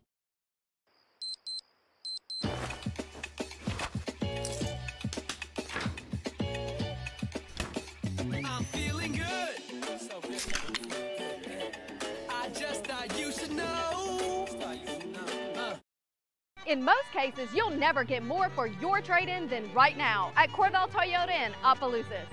Now's your chance to upgrade. You can pre-order your new Toyota today or choose one of our pre-owned vehicles and we'll buy back your current vehicle at a price that will absolutely amaze you. You can walk away with more money in your pocket than you ever thought possible. At Courvelle Toyota in Opelousas, that's Courvelle Toyota in Opelousas, Happy Town, USA. Eli's always been into grilling. It took us a while to see it, but the signs were there. What are you doing, Eli? I knew grilling was my thing. I have been talking about it throughout my career. Happy with the results? I am. Got the new grill from barbecueguys.com. It performed great. My advice, as I always told my boys, do more of what you're born to do. Barbecue Guys, for those who were born to grill. You want cheese on your burger, Pops? I'll take a little cheese. You know, our topic today is about savings. What is savings? Hancock Whitney isn't just a bank for our clients. We're investing in our hometowns, making life better for everyone. So keep dreaming. We've got your back. To the heroes who are working tirelessly to care for our communities, we thank you. We will never forget the countless hours you dedicated on the front lines, choosing to risk your own health to fight for our friends, neighbors, and family members. I mean, you guys are out on the front lines uh, fighting it. We are grateful for your heroic acts and unwavering spirit. Together, we are overcoming this adversity and make our state healthier and more vibrant again. Ochsner Health.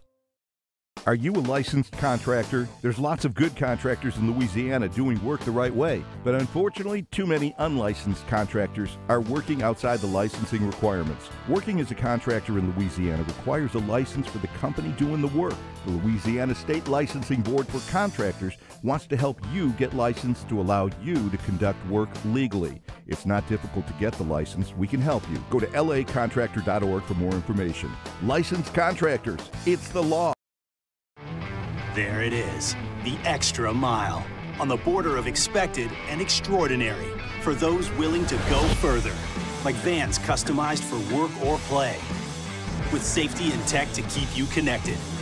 Supported by a five star sales, service, and finance team, and backed by the one star you know. So go the extra mile. It's never crowded because so few have what it takes to go there. Mercedes Benz Vans.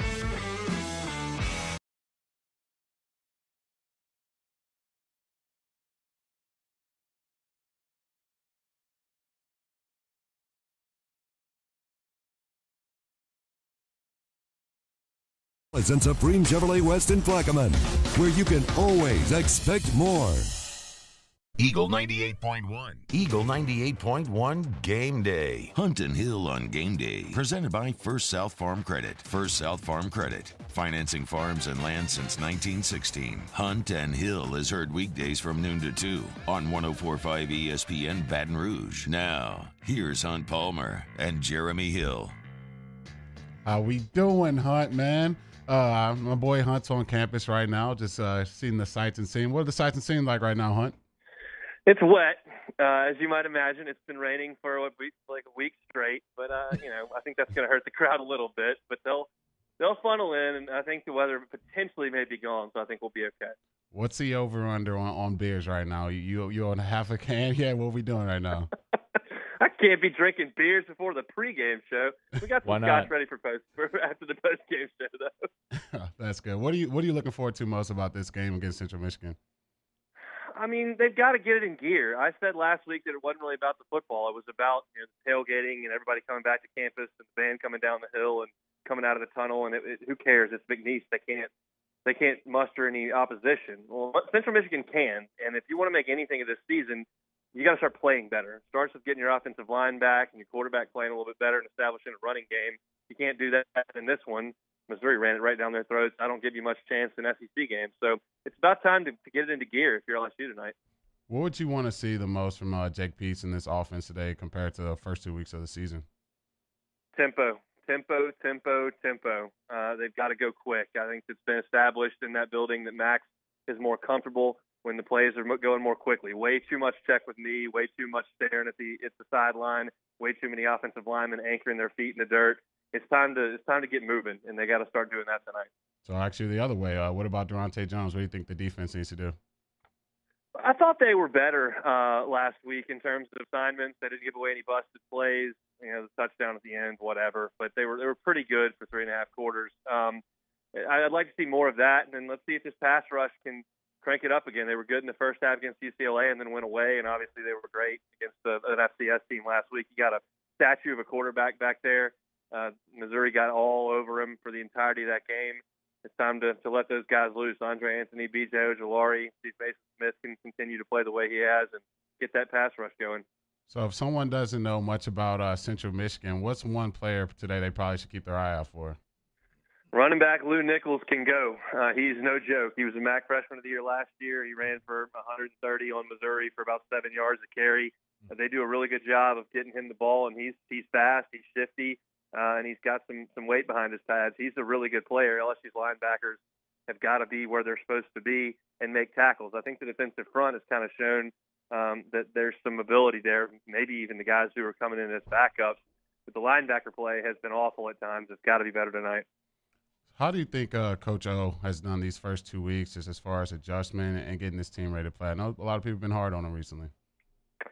Well, they hadn't played very well. I mean, that's just obvious. They they they got their butts kicked at the line of scrimmage and and were beaten soundly by UCLA and kind of sleptwalk through last week. Couldn't run the ball at all against an FCS team, and you know, that game was just not was not aesthetically pleasing at all. So they haven't played well, but if they've been missing some guys. Some guys are coming back. You now got a couple games under your belt with coordinators and we'll see if he can get them ready to go against a team that's probably not going to excite anybody in that locker room. But they they got they got some ability, so we'll see what they've got tonight. If they don't play well in this game, eventually you are who you are. Um, so it, the hope is that they take a step forward for SEC play next week.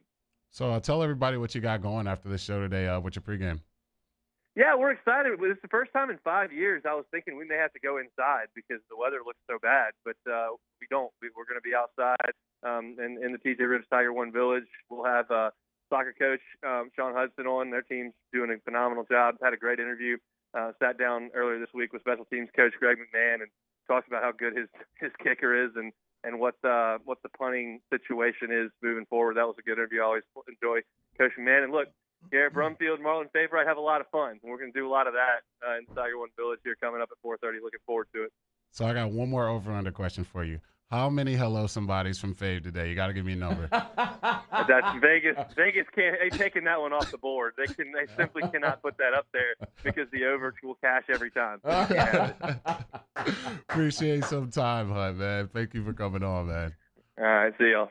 All right, Hunt Palmer and uh, Hunt and Hill, of course, catch the guys weekdays from noon to two on 104.5 ESPN Baton Rouge. Everybody's watching right now on our uh, Watch 104.5 ESPN YouTube channel. Do us a favor, smash that like button. If you want to watch Jeremy and I in studio, just get to YouTube on the Watch 104.5 ESPN YouTube channel. It's the same place where T Bob and I will be post game for Whiskey and Wine. We'll be live at Don Juan Cigar Bar. So if you want to come join us as soon as the game ends, we'll be at Don Juan Cigar Bar in Town Center. If you can't be there with us, you can watch us on the Watch 104.5 ESPN YouTube channel or on the 1045 ESPN Baton Rouge Facebook page. I should mention that is an NSFW show, so we're, we're drinking we're drinking whiskey, smoking cigars, and it's streamed on the internet. So they let us curse, so we do uh, because we curse. Uh, but uh, it's a lot of fun. Hopefully you'll join us. All right, it is uh, Eagle 98.1 game day. A lot going on around the world of college football right now. Um, they have gone final in Morgantown. West Virginia holds off Virginia Tech. Virginia Tech had the ball inside the 10 they threw a pick at the goal line. So uh, West Virginia ends up hanging on. And that one, uh, Alabama and Florida getting ready to kick off. Notre Dame has put a touchdown on the board. They're leading Purdue seven to three. And since Cincinnati still on upset alert there in Bloomington, it's a one-score game with uh, the Bearcats holding on to a very slim 30 to 24 lead with about four minutes to go in that one. We will keep you posted Stay with us here. Jacob Hester is going to join us next for Skull Sessions, breaking down the Tigers and the Chippewas right here on Eagle 98.1 Game Day. I've been doing business with Luba for 25 years. They're dependable, trustworthy. It's just the attention to detail with our clients. Uh, our folks have years and years of experience. They're highly trained professionals. But many companies have that asset. What I'd like to think makes Luba a bit different is that we use those talents in a way that truly is dedicated to serving the needs of the folks who depend on us. All new Bayou Ford vehicles come with a 1 million mile powertrain warranty and with Bayou to You, free delivery right to your door. Need repair? Our service department is ready and available to help you today. The crew at Bayou Ford is going to do right by you.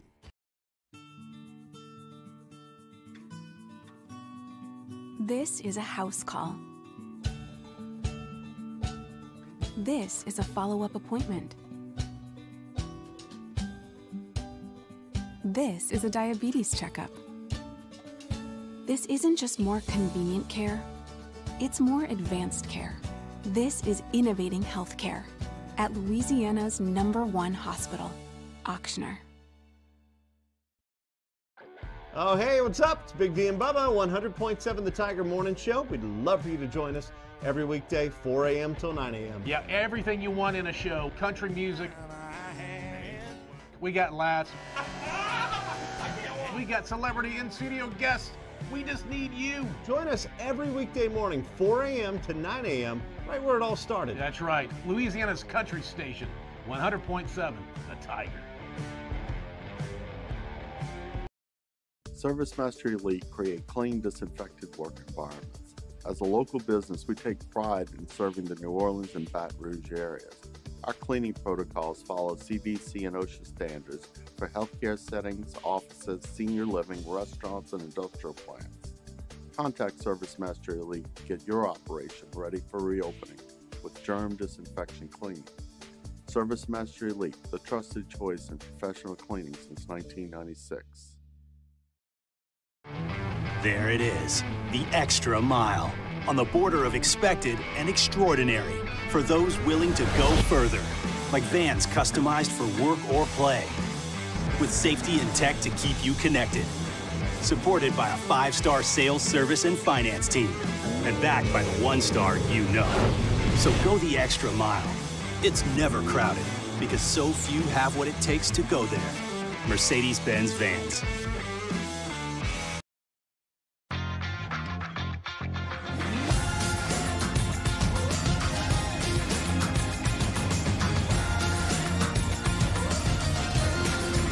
98.1. Eagle 98.1 Game Day Skull Session. Presented by Gulf Coast Bank. Gulf Coast Bank, the bank that cares about you. Welcome aboard number 18, Jacob Hester, of course, host of Off the Bench with Hester and T Bob weekday mornings on 1045 ESPN Baton Rouge. Jake, thanks for the time, man. How are you? I'm doing well. What's up, fellas? How y'all? What's up? What's up? Good, man. So uh, this segment is more of a, of an X's and O's for those who haven't heard it before. And Jake kind of takes us uh, sort of to the whiteboard a little bit as we diagnose what LSU's looking to accomplish this weekend. So this is usually where I just defer to Jake and Jeremy and let them do the thing they do really well. But Hester, everybody wants to know, like, how in the world did LSU struggle to run the ball a week ago, and how can they fix that this week? Yeah, the execution was just really poor when you look at it and you look at the offensive line grades and certainly the tight end grades as well. I think sometimes we've been so hard on this offensive line, and, and look, they deserve it with, with some of the tape they've put out there. But you also have to get your tight ends to start blocking and really look at Cole Taylor, uh, kind of going back and breaking down the film. They really tried to do some things in the run game, diversify, uh, diversify themselves a little bit more, right? Because they ran so much inside zone, and they're running a couple of pin and pulls, which means the tight end's going to pin down on the defensive end, and then you're going to have a couple of pullers. And the guy was just beating him across his face consistently. And, and like small things like that, Matt, like they just can't continue to happen because you've got the right play call in the right moment, but you have to execute it. Too way too many numbers facing the sidelines. Look, anybody that's played any level of football knows both your numbers should never face the sideline, especially if you're an interior guy trying to block up front. And when you break down the tape, you see a lot of that. So it was good to see some diversities, to see some traps, some pin and pull, what we call like horn balls. It was certainly good to see some outside zone when Corey Kiner got into there. But it's just got to be it's got to be more. They got to continue to try to do that stuff, but you have to execute it because if you don't execute it, then what's going to happen is they're going to get rid of that. Then you're going to go back to only running inside zone, which we all know mm. is not a recipe for success. So that's something they've got to get fixed across the board. Certainly, the offensive line that was in there last week was a makeshift offensive line. They've got to get their guys back. You get two of them back and this week in Deculus and Hines. You hope to get Cam Wire back. Don't really know where he's at. So you're going to have some more guys that are really playing a little bit out of position, and you've got to go out there and just execute what's called, though, and certainly at the tight end position as well. My mic's still on. yeah, I think for me, after watching that film, I, I think uh, Jake Bech actually did. Jack Bech actually did a, a, great job in the blocking game, just going backside on a lot of those zones. And, and with those blocks, you don't have to be extremely physical. You just got to right. kind of get in the guy's way and give the back a cutback lane. And I think Jake, Jack, Jack, I keep saying Jake, Jack deserves more snaps to me. And I, and I also think uh, the offensive line, I think we just have to be more physical. I think, you know, we get pushed back so many times, especially when we try to run those outside zone plays, the ones we run to Corey Kiner. He had to make some cuts four and five yep. yards deep in the backfield, and that's just inexcusable for LSU offensive line when you're going to McNeese. So I think for me is just really trying to get back to that mean, tough, and nasty ways of LSU football and pushing guys around and really asserting your dominance, and then it'll give the coaches a way better opportunity to really change right. things up and and put you in better positions to you know scheme up some uh, run plays. Yeah, so Jeremy, I'm glad you brought up Jack Bech because a lot of people are like, wait a minute, you're talking about a 210 pound guy, 212 maybe at, at his max and why would he be a better option than a guy like Cole Taylor? Here's the deal. And especially if you're undersized, you have to just have the want to. And I'm not saying Cole Taylor doesn't, but there's things that, that he put on film last week that makes me believe like he's not exactly sure what's going on. And the thing with Jack Bech is at least he'll get in the way. At least he'll like confuse the defender where he's got to stop. Where Cole Taylor was giving away some free releases straight to the running back, okay? And if you have a situation, and I keep saying pin and pull, like if you're pinning, if you're going down on the defensive end, the last thing that you can do is have him beat you across your face. He's going to blow it up in the backfield, and we saw that because even if you take an angle inside and he's got to go around you, well, what ends up happening is he gets caught in the in the trash of the poolers, and one of the poolers is going to pick him up. It at least gives the ball play a chance to succeed and not just doom it from the very beginning. And so I see some of that from Jack Bech. Now, certainly Cole Taylor is going to be a part of this offense, and they're going to need him down the stretch. But Jack Bech looks like that freshman that almost just doesn't know that it's supposed to be a big moment, right? He's just out there playing football like it's in the backyard. And again, this has been the best high school football player, arguably, in the state in the last two years. If you're in Delaware, that might not mean a lot, but you're in Louisiana, so that means a hell of a whole lot that you're the best football player in the state the last two years. And he looks like he's going full speed because he knows what he wants to do within the offense. So I'd love to see him out there continue to try to grow his role. I certainly would like to see the young running backs. I know we're probably not going to get Goodwin in this game, but Corey Kiner showed flashes of stretching the field, putting his foot in the ground, going north and south a week ago. You need more from Ty Davis Price. I think that is something we've talked about so many times. But going back and watching the tape, guys, I don't know what running back could pick up a lot of yards, but with what he was given in front of him. So it's hard to really grade the running backs right now compared to other years, but just because of what they're not getting up front. So we'll see if you know maybe some changes are made. We'll see how much role Jack Bech gets out there as far as the run game, because also you don't want to fall into those tendencies that we talk about where if Bech is in there, it's either a bootleg or a pass. Yeah, I think uh, Coach O talked about that after the UCLA game and how they only really had five run plays uh, going into that game, and then they had to scrap three of those and then they were down to two. And then when you see Cole Taylor block the way he did on some of those pin and pull plays, and, and just some of the uh, confusion, I think when I watched the film over, uh, guys look. Some of the guys look like they didn't really know how to team up to the linebackers, or and if they were, they didn't know exactly right. what guy they were supposed to be teaming up to.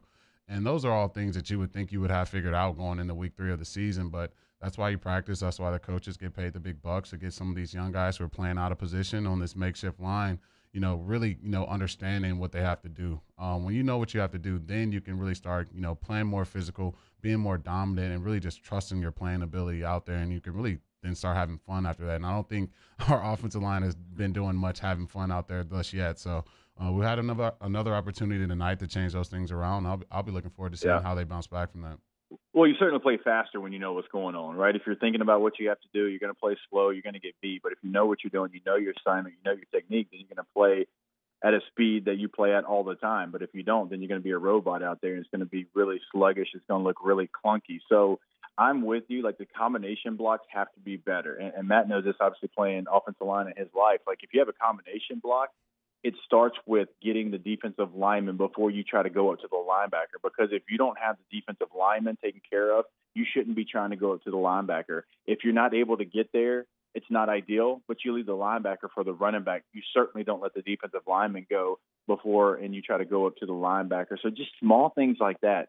And it seems elementary because these are things that you have to see from an offensive line that has played as many snaps as Austin Deculus and Ed Ingram and I know Liam Shanahan since he started last year, Chasen Hines. Chasen Hines started in 2018. Now it wasn't the whole season, but he started games in 2018. You've played a lot of football together those type of things have to be things that are like without question day one we know this is going to get done and it just didn't happen last week. It's got to happen this week as the opponent goes up a little bit. Jake, I appreciate you giving me a little cosign right there, man. That was nice. Yeah, man. Hey, hey, with hey, the qualifier, having you. having played Offensive offensive line in his life. not busy. hey, Bears got a big one over West Monroe yesterday, man. I'm fired. I'm fired up for it. All right, Hester's with us. Sit tight. We'll come back. We'll flip it, talk some defense. Our Skulls session continues with Jacob Hester when we return on Eagle 98.1 Game Day, presented by Home Bank and your local Super Chevy dealers. Introducing Vizzy Lemonade, the only lemonade hard seltzer with antioxidant vitamin C.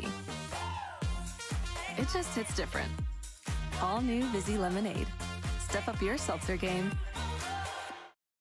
Gulf Coast Bank and Trust is giving our customers the power to bank anywhere, anytime during this challenging event. And we're right there with you. Our mobile banking app is a smart way to manage your money and time.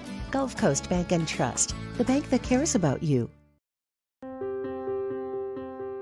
This isn't just another day, it's so much more. Kelly's life was put on hold when her Ochsner primary care doctor discovered a rare blood disorder. Her doctor connected her to an Ochsner care team of cancer, heart, and kidney specialists. With multiple primary care locations around Baton Rouge, same day appointments, and online scheduling, we're relentless about keeping you healthy. Ochsner Baton Rouge, innovating healthcare for Kelly. In most cases, you'll never get more for your trade-in than right now at Courvelle Toyota in Opelousas. Now's your chance to upgrade. You can pre-order your new Toyota today or choose one of our pre-owned vehicles and we'll buy back your current vehicle at a price that will absolutely amaze you. You can walk away with more money in your pocket than you ever thought possible. At Courvelle Toyota in Opelousas, that's Courvelle Toyota in Opelousas, Happy Town, USA. Eli's always been into grilling. It took us a while to see it, but the signs were there. What are you doing, Eli? I knew grilling was my thing. I have been talking about it throughout my career. Happy with the results? I am. Got the new grill from barbecueguys.com. It performed great. My advice, as I always told my boys, Do more of what you're born to do. Barbecue Guys, for those who were born to grill. You want cheese on your burger, Pops? I'll take a little cheese. Starting in 1974, Central Plumbing has served Baton Rouge and surrounding areas for all of their plumbing needs. Through these tough and trying times, we want you to remember that the Payne family is here to continue to support and serve you. As a multi generational business, there is no job that is too big or too small. Residential, commercial, industrial, hospitality, we're here for anything you need. 24 7, 365. Give us a call 225 925 8552. At All Star Toyota, you get it all. If you're in the market for an all new Toyota vehicle, come see our friendly and knowledgeable sales team at All Star Toyota. Located in Baton Rouge at the corner of Airline and Goodwood, we've been serving our community since 2005 by offering a large selection of new Toyota cars, trucks, and SUVs. Get behind the wheel of your dream car and take a test drive at All Star Toyota today. Eagle 98.1. Just about final in Bloomington, Indiana. The Cincinnati Bearcats have added another touchdown. They lead by 14 with about two minutes to go over IU. Notre Dame missed badly on a 45 yard field goal attempt. How much of an asset is Cade York? Like, you trot him out there for 45, and you're like, oh, okay, we'll just take it. It's a chip shot. But this uh, Notre Dame just missed a 45 yarder, so their lead uh, over Purdue remains 10 to 3 with um, about four minutes to go before the half.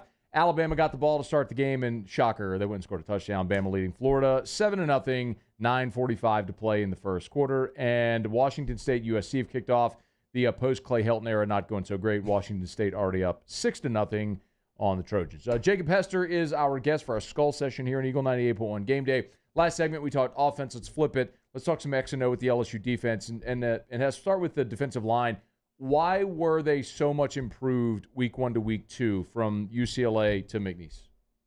Right. Well, they played, you know, really two good quarters out in Pasadena, but they just got worn down, and that's something that that you weren't expecting to happen just because of the depth that LSU had on the defensive front. I think they started to find more of a rotation that they truly like here in this game. They played a couple of more defensive ends. Philip Webb got some run. Desmond Little got some run in this game against McNeese. I think they're trying to find some guys that can help. Ali Gaye certainly is going to be out for this contest, so they're trying to find some guys that they can throw in there, you know, and potentially try to take some of those snaps off Andre Anthony and BJ Ojulari. So I think they rotated some more bodies in. I mean, certainly the opponent was different, UCLA to McNeese, but a couple of guys that shined in my mind against UCLA, Andre Anthony and Maason Smith, still shined in this game um, against McNeese State. So it's a very talented group, man. It's a group that, if they're fully healthy, uh, I think they can really be one of the best units in the SEC. Jaquelin Roy is probably somebody we don't talk enough about because of Maason Smith and him getting three sacks. When you actually go look at the grades for the defensive line, Jaquelin Roy grades out at 86%, which is the highest grade for any LSU defensive lineman. So I expect him to get some more run today.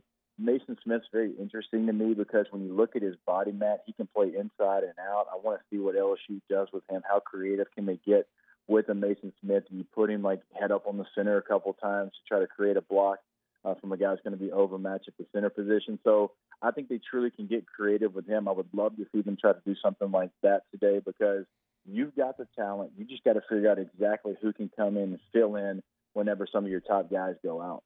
Yeah, that was the first thing I noticed watching that McNeese game. But when you hold a, a team to, to 51 rushing yards, that means they're in a lot of third downs, and a lot of third downs is a lot uh, very difficult for a lot of teams to convert. And then you can really pin your ears back as a defensive line. I think heading to the season, that's what most thing I was excited for. I was, I was predicting that heading to the UCLA game, if we could stop them on first and second down, this D line can get to the passer with just rushing four. And you saw that last week on full display and that's without Glenn Logan and, and Ali Gaye out there. So uh, this defensive line still can get better throughout this season, and, and we're going to lean on them heavily. I think uh, there's so much talent in that room, and and I think really Maason Smith probably has the highest ceiling out of all of them, and he's the youngest one. Yeah, and, and that defensive front has to play well. I don't think it's any secret. There's a couple of positions on the LSU defense that are still trying to find their way. Linebacker certainly is one of them. It was better last week than it was in week one, but you still got some room for growth certainly there. Uh, the corners obviously are the corners. They're all Americans, and we know they're going to be really good football players, and a lot of teams aren't going to test them. So, with all that being said, you got to be better at the safety position. Uh, Major Burns is someone that I like his mentality in a defense that doesn't have a lot of talkers. He seems to be someone that likes to talk, likes to communicate, you know, kind of have some swagger about it, but he's got to play better overall. Uh, Jordan Toll's got to play better overall. He was lost in coverage many times last week, and not lost because he didn't get the call, just truly lost because he got beat in his one on one matchup. So Jay Ward's certainly somebody that you want to get back as soon as possible for LSU, and I think you just got to continue to try to roll some young guys in there. We'll see what the availability of some of the young safeties. Landwall might be up for this game. I think he'll get some run if he is truly up and going to be ready. I'm not sure about Sage Ryan. I know we've been wanting to see him, hoping to see him. Not sure where he's going to be health wise. I know he was kind of a game time decision type guy, and I know you never want to count on freshmen at that position, but they're truly kind of struggling to find guys that they like in space there. So it was improvement. I thought the linebackers improved from week one to week two. The communication certainly improved in the defensive backfield, but you still need some more run there from the safety position. They graded out the lowest position on your defense, and it wasn't particularly close. Yeah, my offensive coordinator, my uh, rookie year in Cincinnati, his name was Hue Jackson. He, he had a great quote, and I'll never forget it. Hey, Jeremy, he, I know who Hue Jackson is. Pretty yeah, popular. Yeah, yeah, yeah. we, all, we all know Hue. yeah, yeah. I'm just, I'm just uh, giving the story to you guys. Uh, he said uh, the other coordinators are going to scratch where it itches. So uh, right. I, I see Central Michigan getting in tight bunch sets and running crossing routes. I see them, you know, running heavy play action with tight ends, running crossing routes and big post routes down the field and that's something that I want to see us cover. I want to see our linebackers how they react to that. Are their eyes in the right places? Are they reading their keys? And then our safeties as well. Are they reading their keys? Are their eyes in the right places? And when you're in LSU secondary, guys should never be wide open. I get guys can make plays and do things of that nature, but just running down the field wide open, five yards, no one around you, that's just inexcusable. That just lets you right. see that guys aren't in the right spots. They're not reading their keys. We got the athletes and the talent. We just I want to see how we, you know, play in space and how we, you know, react to some of these things that uh, these coaches are going to throw at us. Yeah, and our guy Hue Jackson could definitely dial him up. Remember, he was the coach uh, there for the Raiders. But all jokes aside, man, I am very interested to see how much Jim McElwain tries to take from Chip Kelly's playbook because when you go back and you watch the Central Michigan tape, they already do a lot of the things that UCLA had success against LSU with a lot of shifts, a lot of movement. Uh, you'll see certainly some jet sweeps to try to test the edges like old school like wildcat jet sweep, like Darren McFadden type uh, jet sweep stuff with old Felix Jones. Like there's not a lot to it, but they're just trying to get to the edge. Also, you'll see a ton of unbalanced formation from Central Michigan. They've already shown that they have it in their playbook. UCLA had success with it against LSU again, so I would expect to see a lot of unbalanced looks and some jet stuff to try to get on the edges. So these coaches talk. They know each other. Jim McElwain's been in the business a long time. You bet your bottom dollar he's called that UCLA staff, tried to get a couple of tricks of the trade and what worked for them. He's also seen the film. So uh, you're going to see a lot of what you saw in week one until LSU proves they can stop it. Yeah, I agree with that. That, they're going to keep doing that stuff, and I think uh, just talking to some of the coaches on the staff, um, they said they got the guys, they got it fixed. So let's see if they can do it. Um, I still believe in all the talent, especially in, in the secondary room. The safeties from Major Burns to Cam Lewis. I think Cam Lewis played better last week um, compared to what I've seen him in the past. So probably going to be seeing a lot of him today until Jay Ward gets back. So let's see how those two tandems do. And then also, I want to see the linebackers. Uh, can Mike Jones really still come in and make some play? I know he uh, finally played last week, so can he make that leap and really trust him in the middle, really stopping the run? Those are those are some of the things I'll be looking at uh, today. Yeah, you got to have somebody step up at the safety position. You mentioned Cam Lewis. I know he had half a sack a week ago. Maybe Derek Davis can be that guy. And we talked about some of the, the young freshmen. I'm not sure Sage Ryan's going to get to go maybe Lanois, Matthew Lanois, 14. Maybe you know, I know he's a true freshman. Maybe we could see him get some run because it's definitely a position where you got to continue to try to find some guys that you trust. Cam Lewis has been here. I think this is his sixth season, so he's a veteran guy. Made a couple plays last week. I mean, look, let's go back like 2019. I mean, he was covering um, Jerry Jeudy in the end zone at Tuscaloosa, you know, uh, in that game. So like they've counted on him in 2019 in a moment like that to cover Jerry Jeudy, your first round receiver in one of the biggest games of, of the year. They certainly can count on him to help provide something, maybe a spark, whatever it is, here today against Central Michigan. Yeah, I, I agree with that, and, and I also too want to see uh, Coach Jones. Uh, is he going to keep dialing the blitzes up? I don't really remember us blitzing too much against UCLA, but he dialed a few up. I know he sent Cam Lewis on a couple blitzes. That four-two-five defense, I, I really haven't seen us getting those double A gap looks either. So that defense, there's so many exotic looks. I know we got a lot of young guys and guys who haven't played much, but I want to see, you know, what he can do other than just, you know, lining up in man and lining up. Uh, can he get a little more exotic and kind of what does he do to kind of set these guys up for some easy tackle for losses? Yeah, real quick. I know we got to go, but that's kind of the thing, right? If you're going to run some double A mugs and you're going to bring some backers, even bring one and drop the other, who do you got to trust? We got to trust your safeties in the middle of the field, right? So that's something again, man. I hate to keep harping on the safety position, but that sets up so many things in a four-two-five defense that if they're playing well, you can get more creative because you can take more chances. So again, pay attention to a couple of guys. Cam Lewis certainly being one. Uh, mentioned him a couple of times. Pay attention to him. Derek Davis as well because they're looking for somebody to take some of those positions. Thanks, Jake. Enjoy the day, man. All right, fellas. Talk to y'all next week. That is Jacob Hester, of course, off the bench with Hester and T Bob, weekday morning, 7 to 10 a.m. on 1045 ESPN Baton Rouge. He's on Twitter at Jacob Hester18, uh, part of that LSU broadcast as well. Uh, does a great job. We appreciate Hester for a couple of minutes breaking it down with us uh, every Saturday here in Eagle 98.1 game day. So Bama opened up the game with a touchdown, and Florida followed with a field goal. It's 7 to 3 in Gainesville. We'll get you a full check on the scoreboard as the 238 games have kicked off and they're underway in Fayetteville as well as the 20th ranked Arkansas Razorbacks are, are underway now against Georgia Southern. Scoreboard is coming up next right here in Eagle 98.1 Game Day.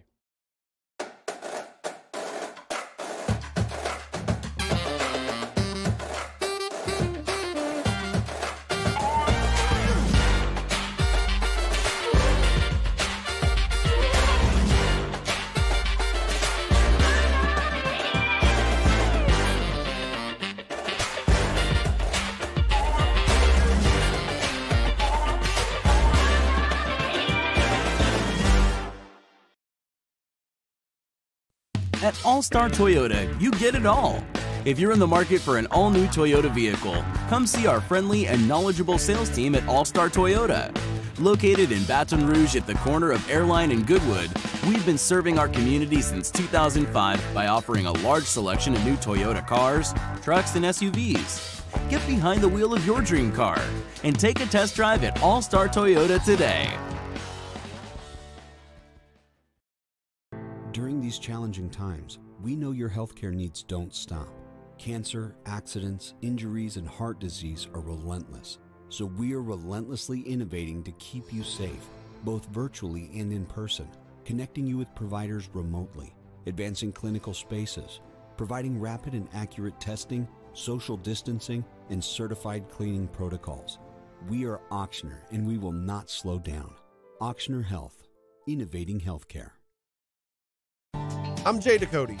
I grew up learning how to cook at LSU tailgate parties and right in my own backyard. And I created JD's Louisiana products to bring that Louisiana flavor to you at home for your backyard cookout.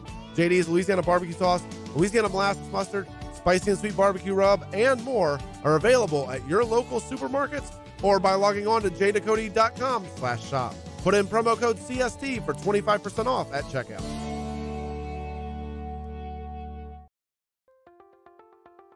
If you're in a, an accident, a car accident, a slip and fall where you're injured, you need to call an attorney.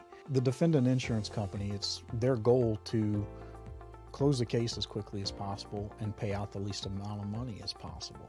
That's why it's important to call an attorney and uh, call the law offices of O.C. Brown. At the law office of O.C. Brown, we're a family owned firm. We want to be your law firm for a lifetime.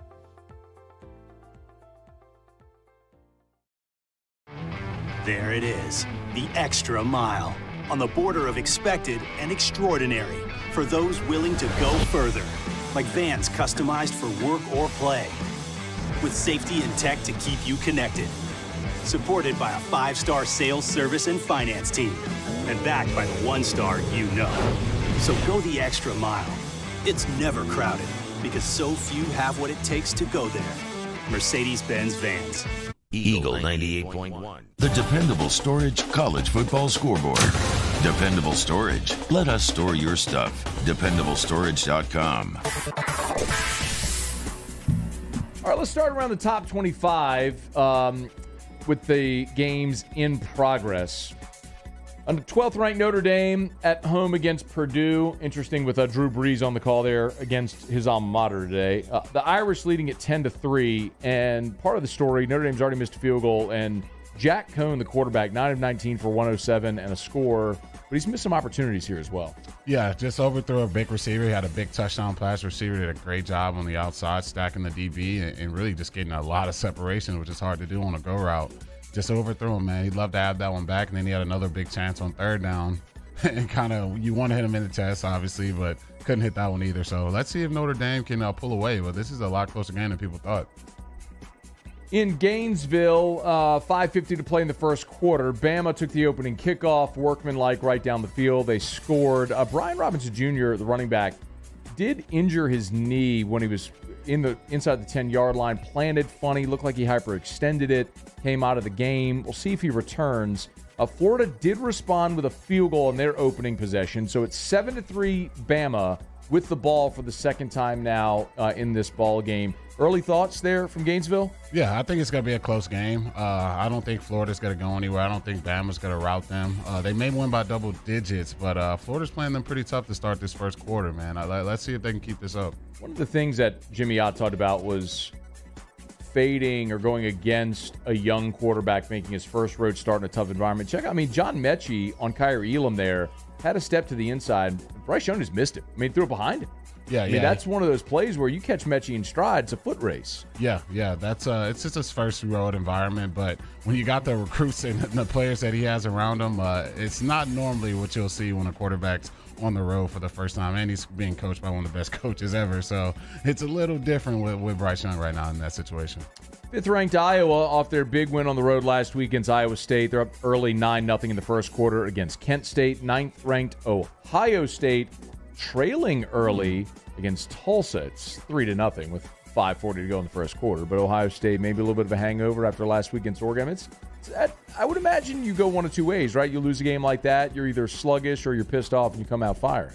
Yeah, it either goes one or two ways. It's a, either another letdown or, or you guys come up there and you, you ready to knock someone's face off, and it looks like uh, the, the Tulsa they're, they're coming in the, in the in the shoe and giving those guys a run. So let's see if Stroud can uh, turn this thing around, but it's not looking good in the first quarter. Clemson outside of the top five. Bizarre to see them ranked six, but they're leading seven nothing early on Georgia Tech. Four and a half to go in the first quarter. We'll keep you posted there.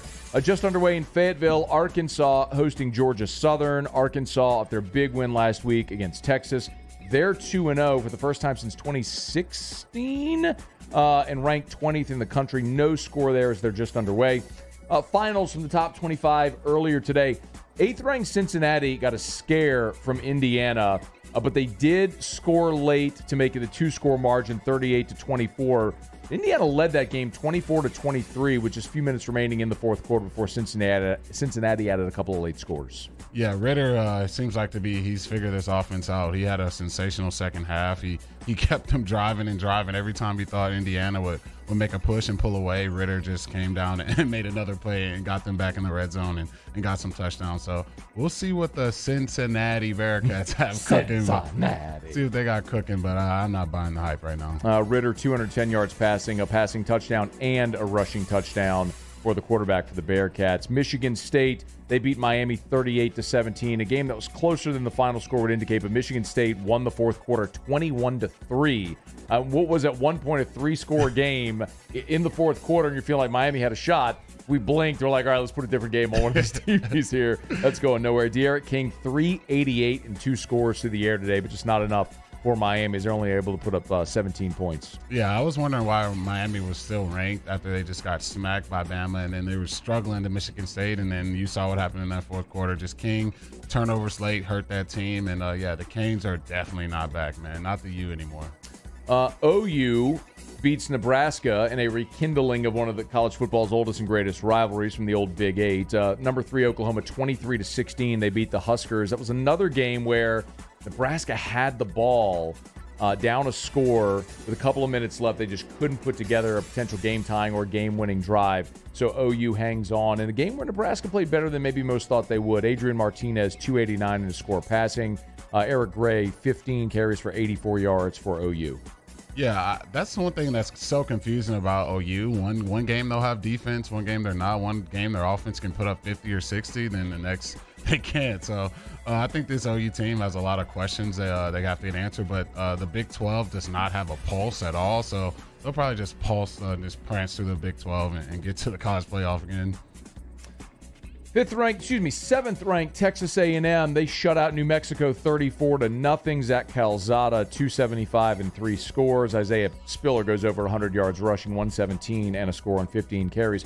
Some late drama in Morgantown, but West Virginia holds off 15th ranked Virginia Tech 27 21.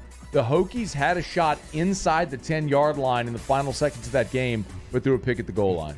That just gives me uh, Missouri LSU from last year memories, Oh, man. God. Just getting down there and just can't punch it in. That's just you hate to see that as an offense. And I really thought they had a chance to make that game, come back and really beat that team. But uh, that's a big win for West Virginia. 16th ranked Coastal Carolina. They eke past Buffalo on the road. Buffalo led early in that game, but Coastal ends up holding on 28 25 against the Buffalo Bulls. Michigan, no such challenge today. They blast Northern Illinois 63 to 10. The rest of the top 25 as we look at it tonight uh, in action. Number two, Georgia hosts South Carolina. Dogs a 31 point favorite. Uh, Zeb Noland or Luke Doty, who's going to get the start for South Carolina? I don't really think it matters. I don't think it matters either. But I, I want to go with the fighting Zeb Nolands. Man, I love when those gratis hits is getting there and just chunking around the yard. Because that happens all the time. Right? uh, fourth ranked Oregon hosts Stony Brook. The big one tonight, 22nd ranked Auburn in Happy Valley against 10th ranked Penn State. The Nittany Lions, a five point home favorite. You got a feeling on who wins that game? Uh, I feel like that's as pick'em as pick'em's gonna be because it's what you really don't know about Auburn just yet. But uh, I, I don't know, man. I've been I've been high on Bo Nix. I know a lot of people aren't. I, I think he ma- I think he's made a step better than he was last year. So I think Auburn gets it done. Alabama has gone into the end zone again. Bryce Young with a 26 yard passing touchdown. Coverage bust for Florida.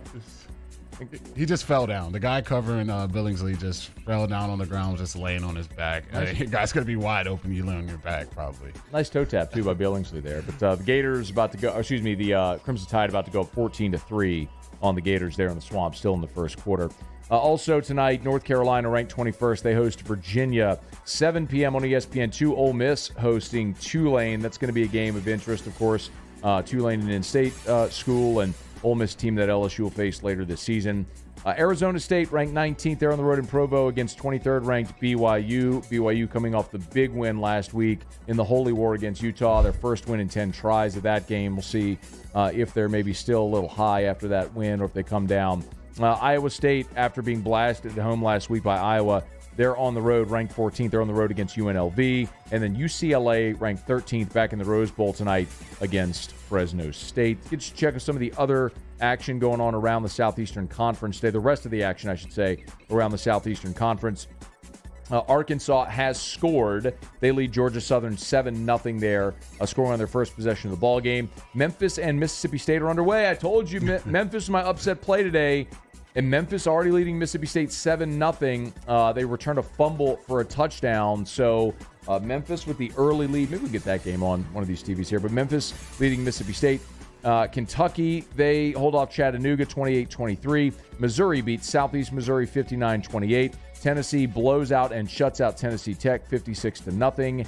And that is the rest of your scoreboard from around the Southeastern Conference. Uh, other games around college football that are in action uh, Florida State 0 2 and trailing Wake Forest 14 to nothing in the first quarter. Uh, can Mike Norvell hang on to this job? Man, talk about a fall from grace. Uh, they were in the national championship when I was in, uh, in school, and now they just can't even beat Jacksonville State, man. Brutal. That's it's just brutal to watch that program go to where they are now, and I don't think so, man. I think they, they, he's not going to last long either. Uh, Stanford is at uh, Vanderbilt tonight. Northwestern is at Duke. So a lot of smart schools playing each other. Uh, Duke leading Northwestern 7 0. That's in the first quarter as well. Some other finals from around college football today. Western Michigan upsets Pitt. A week after Pitt went to Neyland and beat Tennessee, Western Michigan pops Pitt in Pittsburgh 44 to 41. Kenny Pickett from Pitt at 382 yards and six touchdowns, but not good enough to beat the Broncos. Syracuse blasts Albany. BC goes to Temple and wins 28 to 3. Those are the rest of your finals from around college football. And of course, last evening, Louisville in dramatic fashion beat Central Florida 42 to 35. A interception return for a touchdown to walk it off for the Louisville Cardinals in that ball game. Right, Today's Eagle 98.1 game day presented by your local Super Chevy dealers and Home Bank. Little scouting report. When we return, we'll take a closer look at LSU's opponent, the Central Michigan Chippewas. Stay with us here on Eagle 98.1 game day. All new Bayou Ford vehicles come with a 1 million mile powertrain warranty. And with Bayou to You, free delivery right to your door.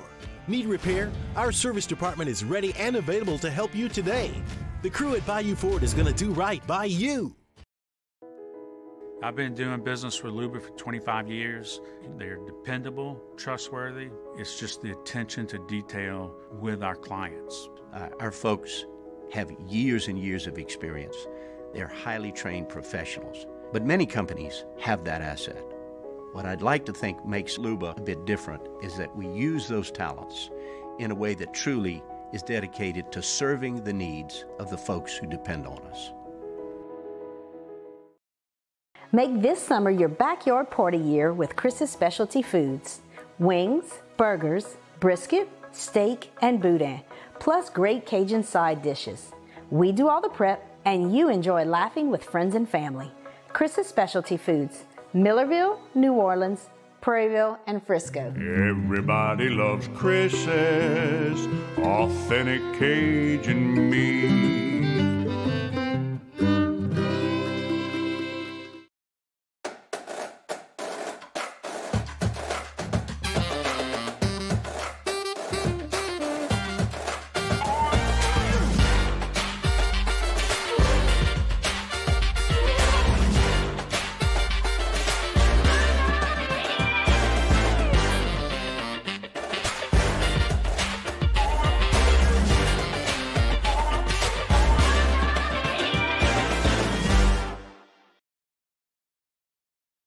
Jake here for Patient Plus Urgent Care Clinic, the place that's going to be convenient for you during an inconvenient time. Look, you hear me talk about my four boys all the time, and sometimes things like stitches, well, they happen. And in fact, they have. And Patient Plus is always taking care of us, just like they'll do the same for you. And now, with seven convenient locations across the Baton Rouge area, open from 9 a.m. until 9 p.m., seven days a week. And also at patientplusuc.com, you can sign up for your appointment on the way to the clinic. That's Patient Plus Urgent Care Clinic. Get in and get better. There it is, the extra mile. On the border of expected and extraordinary for those willing to go further. Like vans customized for work or play. With safety and tech to keep you connected. Supported by a five star sales, service, and finance team. And backed by the one star you know. So go the extra mile. It's never crowded, because so few have what it takes to go there. Mercedes Benz Vans. If home is where the heart is, a roof is a shield. That's why for over 25 years, South Louisiana always turns to Garcia Roofing and Sheet Metal. Eagle 98.1. Eagle 98.1 Game Day. Talking Tigers. Talking Tigers. Presented by Louisiana Land Bank. Louisiana Land Bank. They're experts in rural land and equipment lending. Talking Tigers. LSU wide receiver Kayshon Boutte. Uh, focusing on tempo this week, I feel like as you focus on tempo more in the game, the faster you move, the more momentum you have as an offense. And lately, we've kind of been starting off slow, so I feel like it got something to do with momentum. So I, I think that's our main focus this week to get everything going faster. LSU offensive lineman Liam Shanahan. I mean, it's just something that we got to practice. You know, uh, obviously when, when, you're going fast, you know, you're not the plays that are getting called aren't necessarily based on the defense's look that they're given. You know, sometimes. Uh, you know, we, Coach Peetz gets to get a, get a look at the defense and then call the plays. But you know, when we're going fast, we're saying that we can block that play regardless of, of what look they give us. So, um, you know, that's just something that we gotta that, that'll, that'll um, get better with time, um, which is why I think it's great that we've been getting a lot of work with it in practice. So. LSU wide receiver Kayshon Boutte. Jack from Lafayette, I played against him before, so I knew him coming in would have been a big factor to this team, and it really has been. He caught the most balls, I think, at the tight end on this this past season or this season and he's doing good. And I know that nine times out of ten when the ball, or ten times out of ten when the ball get thrown to him, he gonna catch it. LSU offensive lineman Liam Shanahan. He's awesome. I mean, he, you know, he's one of those guys that. Like he, he has a work ethic that you can't really teach. Um, work ethic, toughness, um, just that, that type of mojo to him. You know, he, he's awesome. Uh, I love having him as a teammate you know, you, you mentioned Gronk. Uh, I'm a Patriots guy uh, from up north, so he reminds me honestly of Julian Edelman a little bit with his size. So, you know, it, it's awesome to see him getting on the field and making plays. LSU wide receiver Kayshon Boutte. It's not really nothing that's really slowing us down. Uh, I feel like us as players, we just got to execute the plays a little quicker and faster. It's like accountability on everybody part. Like as receivers, we can catch we can catch more balls. It's like I always feel like as myself, I could do more all around, and that's something huge throughout these games. It played a big factor. LSU offensive lineman Liam Shanahan. I don't know if I would say that. Yeah, like I like I said earlier, something that, that Coach Davis has stressed to us is is everyone's held to the same standard. You know, once once someone gets in the game, even if they're not a quote unquote like day one starter um, for fall camp, like they're they're held to the same standard. So um, you know that's that def- that can't be an excuse um, or a reason for for any struggles that we might have had. So LSU wide receiver Kayshon Boutte. Uh, I got a lot of respect for all my opponents. I don't downplay nobody just because they're not SEC or none of that. It's respect your opponents because I feel like UCLA, we kind of didn't respect our opponents and we got to hand it to us. So that's a lesson to learn from. Talking Tigers, Eagle 98.1, game day. Gulf Coast Bank and Trust is giving our customers the power to bank anywhere, anytime during this challenging event. And we're right there with you. Our mobile banking app is a smart way to manage your money and time.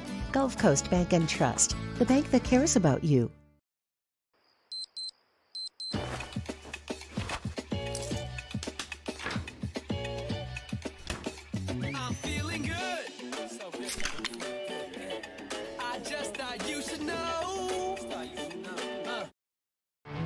There it is, the extra mile, on the border of expected and extraordinary for those willing to go further, like vans customized for work or play, with safety and tech to keep you connected.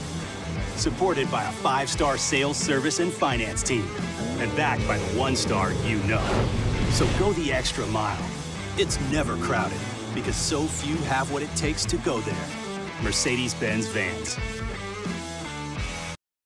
Are you a licensed contractor? There's lots of good contractors in Louisiana doing work the right way, but unfortunately, too many unlicensed contractors are working outside the licensing requirements. Working as a contractor in Louisiana requires a license for the company doing the work. The Louisiana State Licensing Board for Contractors wants to help you get licensed to allow you to conduct work legally. It's not difficult to get the license. We can help you. Go to lacontractor.org for more information. Licensed contractors, it's the law. I've been doing business with Luba for 25 years.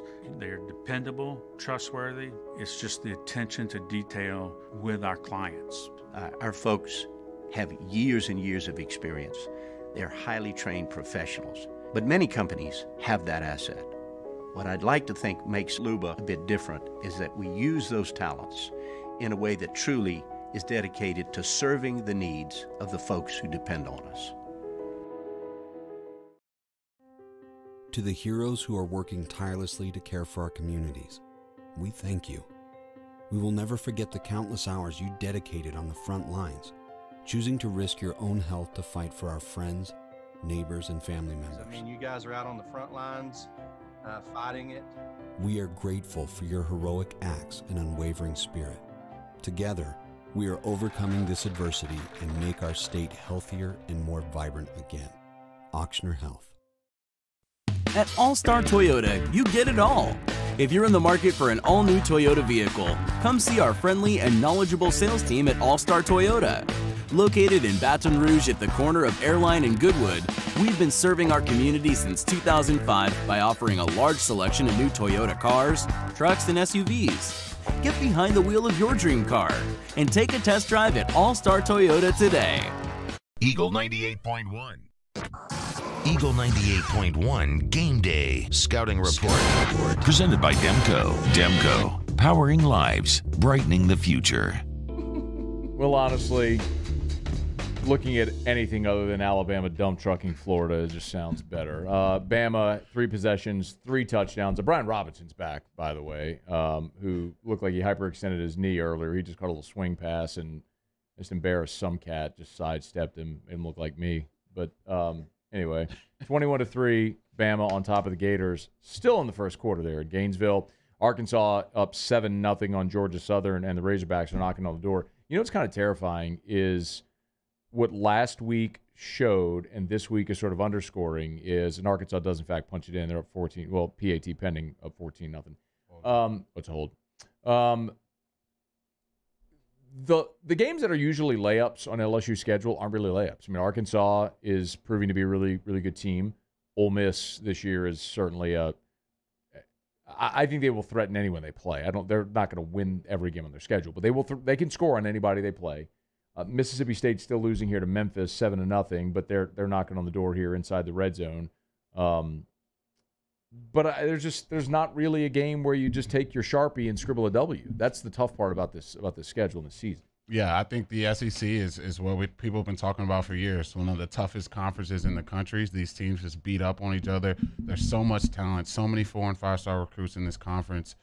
It's just going to be a tough schedule, man. You, and the only thing that you can really combat that with is playing at a high level and, and playing and getting that continuity and getting those getting that rapport with everyone when you're feeling good about yourself and, and you you know you're not getting bonehead penalties and turning the ball over, you feel like you can beat anybody, and that's probably what the Ole Miss team feels like. They may not have five star recruits everywhere, but they feel like they march into any town, they can score points and battle you, and, and that's what this LSU team has to get to, and it starts today. Let's take a look at the Chippewas, uh, who will be in Tiger Stadium today. And of course, a familiar face returns to Baton Rouge. Jim McElwain, who was the Florida head coach until 2017 when he was fired, now is at Central Michigan, um, actually was asked about playing in Tiger Stadium and what makes that Tiger Stadium crowd so tough. starts with uh, the fans. I mean, the fans are great. I mean, they they are rabid about you know their home team, and they make it something special. And they don't cut you any slack when you go in there. I'll tell you that. You know, the stadium itself, obviously, they're right right there on top of you. There's there's no hiding. And and I think part of it too, they're really football smart. I mean, they, they, they really understand the game of football and they understand how to help their Bengal Tigers uh, in in situations, and and uh, I think that has maybe something to do with it as well. I don't know how much or your feeling on this, Jim McElwain having coached in Tiger Stadium and coached against Ed Orgeron teams. Does that fact? I mean, I guess it works both ways, right? But does that factor at all tonight? Yeah, yeah, I think it does. I think anytime you, you come into into that valley and you're playing in a tough, hostile road environment, uh, the the younger guys on the team feel, especially when they never played in front of hundred thousand fans and and they're rolling and they're screaming. it's going to be tough. So let's see how Coach McElwain gets those guys ready to go. But it's definitely going to be a unique environment for them. Uh, Missouri, uh, excuse me, Central Michigan has already played an SEC opponent this year. They did play Missouri earlier this year, and Jim McElwain was asked in his media availability, you know, what his team can take from playing that Missouri game earlier this year, obviously ahead of tonight's game against LSU.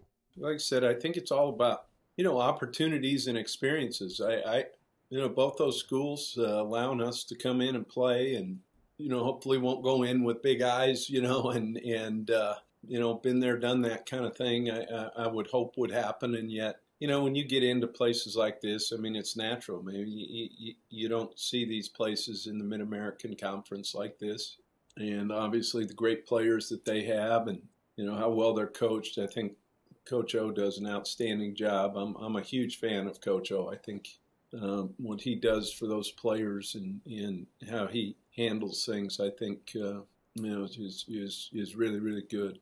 But we've gotten that first one out of our system, and yet, believe me when I tell you this, the difference between playing at Missouri and playing at, um, at LSU and Death Valley at night, quite a bit different. Uh, but he is going to bring in a little bit of a um, of, of a team that has some potency here. Uh, this is a, a, Central Michigan team that through two games is averaging 35 a game uh, defensively allowing just 17. Uh, offensively, 495 yards a game. And Jeremy, they're super balanced 264 passing, 230 rushing. This is a Missouri or a Central Michigan team that that can beat you multiple ways. If it's with Lew Nichols, the running back, who's averaging just about seven yards a carry, or if it's with Sirmon, the quarterback, who's you know, gone for over 200 yards per game and four scores already. This is a this is a balanced Central Michigan team. So when you have that kind of balance, it certainly presents different issues for LSU defensively. Yeah, it presents a lot of different issues, and and you got a team like this who has a lot of veteran guys, a lot of all MAC players still on this offense, still on this team, a quarterback who is one of the top ten quarterbacks in the country coming out of his class. They're gonna have confidence, man. They know how important this is for them uh, to come into Death Valley and find a way to upset the Tigers. That would just be a huge win for that Central Michigan program, and, and their offense knows it's gonna be heavy on them. Um, they were in that Missouri game because their offense was moving the ball up and down the field keeping them in it, keeping them close. So they're going to be excited to go. They're probably licking their chops from that UCLA film and feeling like they can make some plays on this defense. Let's see if we can shut that down. Uh, Jacob Sirmon, the Central Michigan quarterback, originally played for the Washington Huskies, transferred to Central Michigan. And then Lew Sirmon, as you mentioned, was the freshman of the year in the conference last year, is averaging almost seven yards a carry. So there are some guys offensively to keep an eye on. Speaking of Lew Nichols, Ed Orgeron earlier this week on the uh, SEC coaches teleconference was asked about the Central Michigan running back. Lew Nichols, number seven, an outstanding running back. They have a great scheme, a zone scheme, gap scheme. They run the ball inside and outside. But the biggest thing is is tackling Lew Nichols. He does a good job of yards after contact. Uh, this is going to be a physical football game and a good test for us. And Orgeron later in the week on his radio show was then asked about you know the biggest key, and he went right back to just stopping the run and stopping Lew Nichols in that running game. Tackling. Uh, their yards after contact, they rarely go down on the first contact. We've practiced all week on wrapping. And a lot of fans ask, Coach, we got to start wrapping. We've been wrapping five hard steps all week. We've been thudding up. Uh, but we're going to have to tackle well in this ball game to win it. From a running back's perspective, um, how do you, if you're Lew Nichols – and you're that good after contact. That's something you were obviously very good at as a player as well. Is that something that that you can practice? How do you become someone who's really good after contact? Yeah, balance, balance and strength. Those are all things. If you watch Alvin Kamara work out in the offseason, those are all things he's always working on balance and strength. If you have great balances, guys are going to bounce off of you and you're going to be able to keep your feet moving. And then the strength comes in that when guys who are trying to attack you with arm tackles, you can just run right through them. So a lot of that stuff comes naturally, but as you get older, those are things you can fine tune and really, you know, take to a higher level.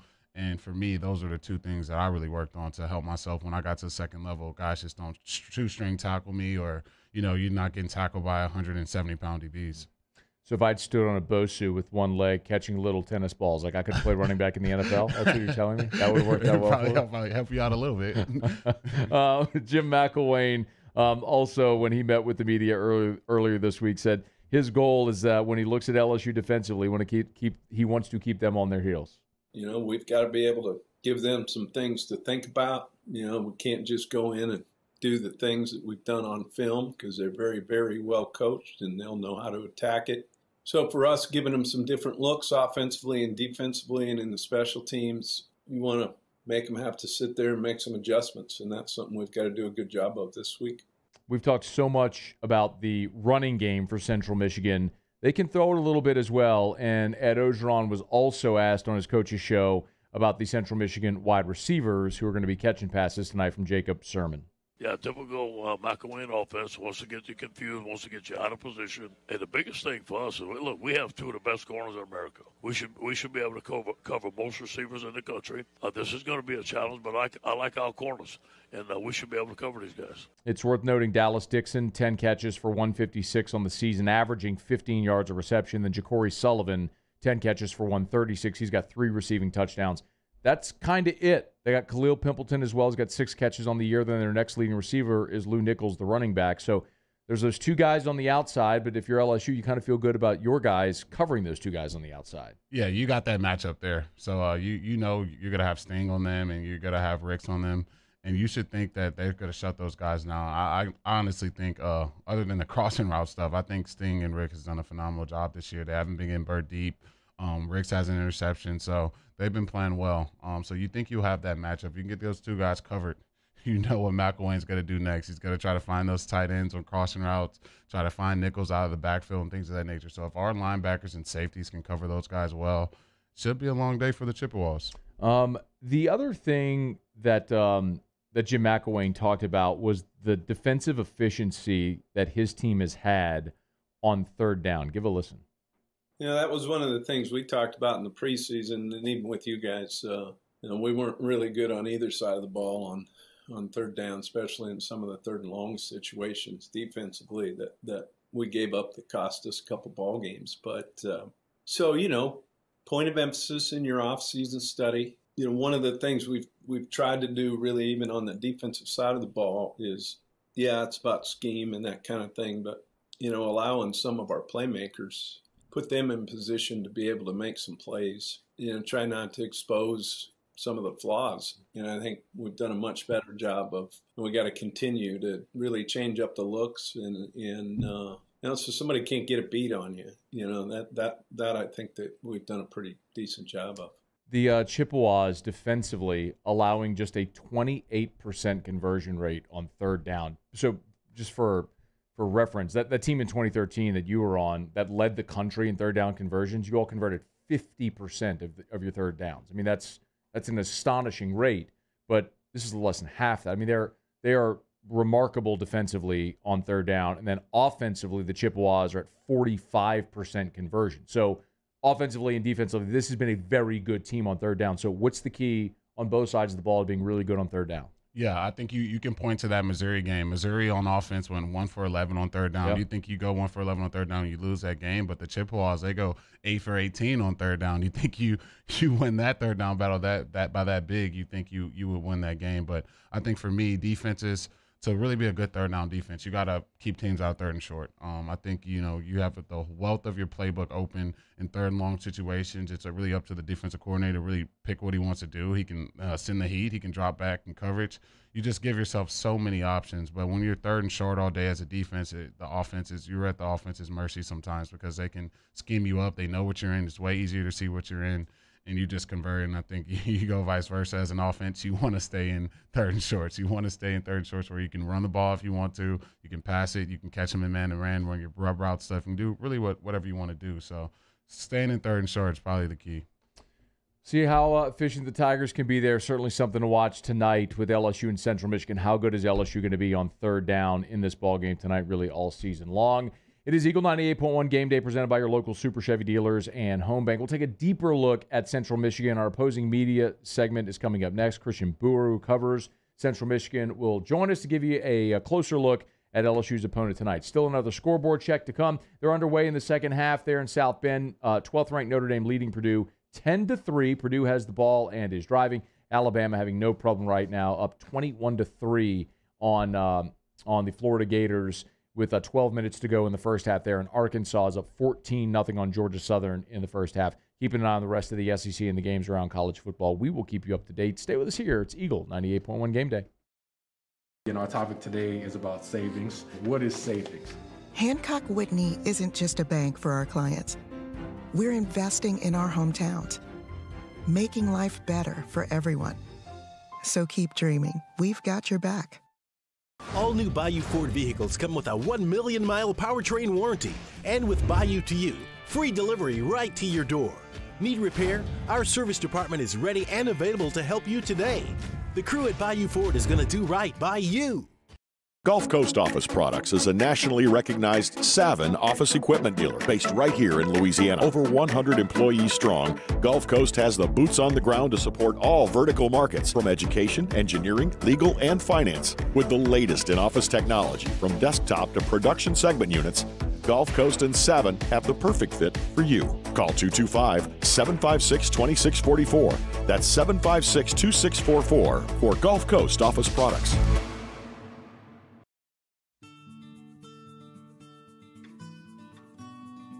This is a house call. This is a follow up appointment. This is a diabetes checkup. This isn't just more convenient care, it's more advanced care. This is innovating healthcare at Louisiana's number one hospital, Ochsner. Oh, hey, what's up? It's Big V and Bubba, 100.7 The Tiger Morning Show. We'd love for you to join us every weekday, 4 a.m. till 9 a.m. Yeah, everything you want in a show. Country music. We got laughs. We got celebrity in studio guests. We just need you. Join us every weekday morning, 4 a.m. to 9 a.m., right where it all started. That's right. Louisiana's country station, 100.7 The Tiger. ServiceMaster Elite create clean, disinfected work environments. As a local business, we take pride in serving the New Orleans and Baton Rouge areas. Our cleaning protocols follow CDC and OSHA standards for healthcare settings, offices, senior living, restaurants, and industrial plants. Contact ServiceMaster Elite to get your operation ready for reopening with germ disinfection cleaning. ServiceMaster Elite, the trusted choice in professional cleaning since 1996. It's no secret. The best oysters in Baton Rouge are at Jolie Pearl Oyster Bar. Enjoy mouth-watering South Louisiana flavor and oysters from all over the country. And don't forget our nightly drink specials.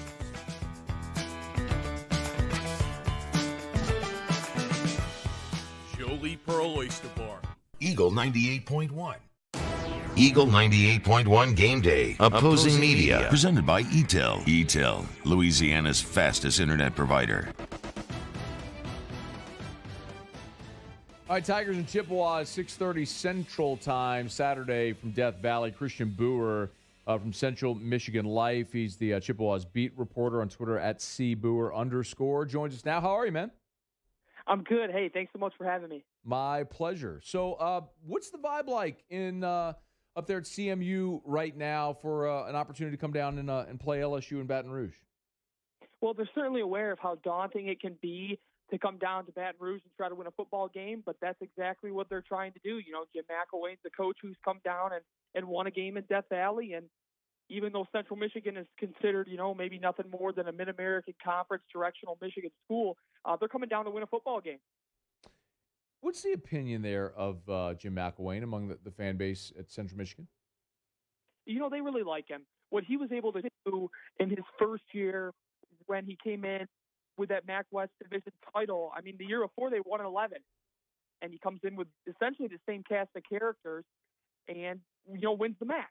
Mm. Comes the game short of winning the MAC championship game. So um, he, you know, the the fans are very optimistic. Kind of a down year last year, but you know he sent the whole freshman class or almost the whole freshman class home when they initially canceled the season uh, within the Mid American Conference last year. So kind of last year's disregarded as kind of an anomaly, and uh, you know, how they performed against Missouri and then coming home and pitching the shutout against Robert Morris has really revived the optimism within the program. Let's talk a little bit about what we've seen through two games. Um, we'll start with that game in Columbia against Missouri. Obviously, a road game against an SEC opponent. What did we learn about Central Michigan when they went toe to toe with with an uh, with an SEC school, Go, both good and bad? Well, the good, I think you really learned how well this team could run the football. Um, Lew Nichols has kind of taken on the load as that ball carrier, you know, that bell cow back after Kobe Lewis was, went down for the season with a knee injury, and he was really impressive that first game against Missouri. Uh, I believe it was 139 yards. Don't have the stats in front of me, but uh, they showed that they can run the ball with anybody, and I think that's the one thing they want to do going down to Death Valley. Um, the quarterback position, Jacob Sirmon's been solid. Uh, made a couple of mistakes against Missouri, and that kind of hurt him. But he's he's better uh, than what they had last year, and you know, so that's one of the things that they're really looking forward to is how does he perform against a team like LSU? Because I mean, you can say what you want, but that's definitely a step up from Missouri.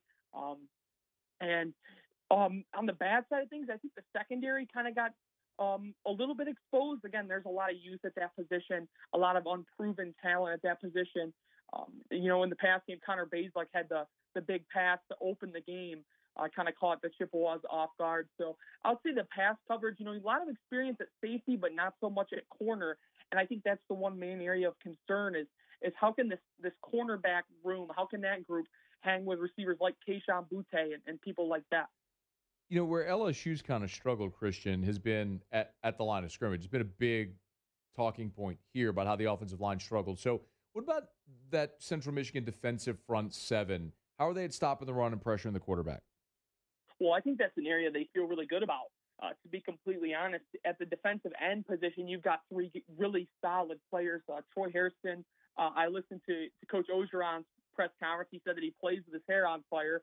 Um, and I think that's a very good way of describing Troy Hairston. Again, not going to blow you away with his measurables. He stands about five foot ten, but I mean he does play like his hair's on fire, and he's the the reigning MAC Player of the Year on defense. Um, at linebacker, you've got Troy Brown, who's two-time first-team All-MAC. I mean, he's a guy who's always going to be in the running for that MAC Defensive Player of the Year. Converted safety who has really good ball skills and coverage, and then can bring the heat when they, you know, when the Chippewas dial up those blitzes as well. Uh, what's what's kind of that question mark is kind of on the defensive line and the interior um, with the you know the defensive tackles. Um, they feel really good about Tico Brown, who had a good year last year. Uh, Jaquez Bristol's now in his third year with the program. Just a you know still just a red shirt freshman by uh, eligibility standards, but um, a lot of good things to say about Jaquez as well. Uh, but after that, you know, it kind of gets a little bit murky because Robbie Stewart, who's been that mainstay, he's done for the year this year. He suffered an injury in fall camp. Um, and there's not a ton of depth. I mean, Jason Williams is a freshman. Um, and, and outside of those guys, it's just a lot of unproven talent. So how can the Chippewas hang in there on that defensive interior, you know, the three techniques and the one techniques? Um, that's going to be something that's really interesting to follow. Uh, Christian Boer is our guest, Central Michigan uh, beat reporter there for Central Michigan Life. Let, let me flip the line of scrimmage because – and I, I, didn't get to watch much of the Missouri game against Central Michigan, but I did see the box score where the Chippewas allowed nine sacks and 14 tackles for loss. I mean, it, it looked like looking at the box score that was a gigantic mismatch. Is did that is that reality how that played out, and is that a gigantic concern this week coming to Baton Rouge? Well, I think it's a little bit of both. Um, you know, Missouri has that defensive coordinator Steve Wilks, and he threw a lot of unique looks at that Central Michigan offensive line, and and they played together last year, but that's still a group that's relatively young, and and you don't see the blitzes like the blitzes that Missouri was dialing up in the Mid American Conference. Um, so for guys like Deontay Powell Woods, who's in his third year, but again didn't play a ton as, as a freshman, and get only got six games last year. Uh, Jamez Kimbrough, who's in his second year starting as center, but again he didn't play any Power Five teams or anybody outside the conference last year. Um, yeah, and then you know the best player, the, the guy everybody's talking about on that offensive line for CMU is Bernhard Raimann, their left tackle, who again is a converted tight end and is in just his second year playing the position, and, and the first year was just the six games. Um, that I think Bernhard Raimann is a guy that um, the LSU fans are going to want to take note of because he's a legit people mover. You know, he moves people around. Um, as that left tackle, very good instincts, very good athleticism for a guy who plays left tackle and I expect him to be a guy that kind of rises up draft boards. I mean, uh, fans know it. You know, Eric Fisher's a guy, Joe Staley, another CMU guy. Both of them went on to have really good careers. You know, Fisher's still going with the Colts now. Uh, I think Raimann's kind of that next guy in line. But to answer your question in kind of a roundabout way, um, I do think it was a little bit of both. I think there was a little bit of a mismatch. You know, Trajan Jeffcoat's a tough guy for anybody to block. um, and he was in the backfield quite a bit in that game. Um, but at the end of the day, I expect this offensive line to be ready for the opportunity. I think it remains to be seen, and I believe I saw that LSU is going to be without one of their top pass rushers, uh, Ali Gaye, yeah. and um, I think that's that certainly helps Central's cause. Uh, but at the end of the day, I think we're going to learn a lot about just how good this offensive line is because you know people are talking about Raimann and people are talking about Powell Woods and Kimbrough and those guys and, and even the right tackle Luke Goedeke as well. But um, I guess that that nine sacks certainly um, a hefty responsibility falls on on the offensive line, but there was also some looks that they hadn't seen, and I, am not sure they were super per, per, excuse me prepared uh, for those, and and so I think it was a little bit of both. And a couple more things. Uh, no one ever talks about special teams, but sometimes those do create ebbs and flows in the game. How's Central Michigan on special teams? Well, you know they've got two really young um, uh, kicker and punter Marshall Meeder is one of the 2020 guys who who actually stayed on campus and had an exceptional year kicking the football. Um, he was eight for eight last year, had a long of 53 for which for a true freshman who's in Mount Pleasant, you know, kicking at CMU, that's borderline unheard of. Uh, but he had a really good year. And then Luke Elzinga, the punter, um, a redshirt freshman, he's in his third year now, but uh, didn't play at all in 2019, and then last year started all the games. And the first punt of his career on, on Corks a 74 yarder. Um, so they're, they're two guys there. They feel really good about them. Uh, haven't really seen them as much in the return game. Um, they're going to send back true freshman Marion Luke and Darius Braithia, a junior running back, to return the kicks. Haven't really seen them make too many plays. Obviously, Robert Morris, there was a shutout. So, I mean, aside from the, the halftime kickoff, you didn't see them at all. Um, and then Missouri, you know, a lot of touchbacks. So you didn't see that. Khalil Pimpleton, their big offensive playmaker, is going to take the punt. And he's a guy who's a problem for opponents. Uh, you don't want to give him room to run. So it'll be important for LSU to to uh, find ways to neutralize him in the return game because although he's about five foot eight, five foot nine, he can run with the best of them. So they feel good about that. And then the the place kicker, the kickoff guy is Josh Rolston. He's a true freshman, and uh, he's already pretty much doubled their touchback total from last year. They had just three touchbacks um, last year, and, and, he's already got four this year. So that's another guy they feel good about. Before you go, I know you said as we started that Central Michigan's coming to Baton Rouge to win a football game. Uh, is that a, a, realistic expectation? And, and if so, what's the, the blueprint there for Jim McElwain if they are going to come into Baton Rouge pull an upset? Well, that's an excellent question, and I do think within the program that, that that's the that's the standard, that's the reasonable standard, and I think that's part of what Coach McElwain brought with him when he came to Mount Pleasant. Uh, because a lot of people were surprised that a guy who coached at Florida and was coach of the year at Colorado State would come to Mount Pleasant and coach the football team, especially after the program was one and eleven the year before. And so I think that when he came to Mount Pleasant and, and uh, you know right away took the team to the MAC championship game, that raised some eyebrows around here. And now I think that the fan base and the players they all believe and so I certainly think that it's reasonable for them to go in there and think they can win this game. And, and you pair that with LSU, who's been kind of up and down. And it just kind of looks like, you know, this is a team that's kind of ripe for the picking. And, you know, Central Michigan's got an experienced core of guys. And they are. I, I do think that it's reasonable for them to think that. Um, and then as far as the blueprint goes, I think it starts with running the football. They've got five guys in that running back room who they feel really good about. I mentioned Nichols. I mentioned Bracy, uh, Marion Luke, and then a couple other freshmen, Miles Bailey and DJ Stepney. Uh, Stepney, part of that 2021 recruiting class. Uh, they they feel good about all those guys, and they've got the depth, and, and I'm sure that uh, fans will see all five of them get at least one or two carries. And um, so for them to go in there and win, it's going to start with the run game, and it's going to start with those big boys up front, guys like Raimann, guys like Kimbrough.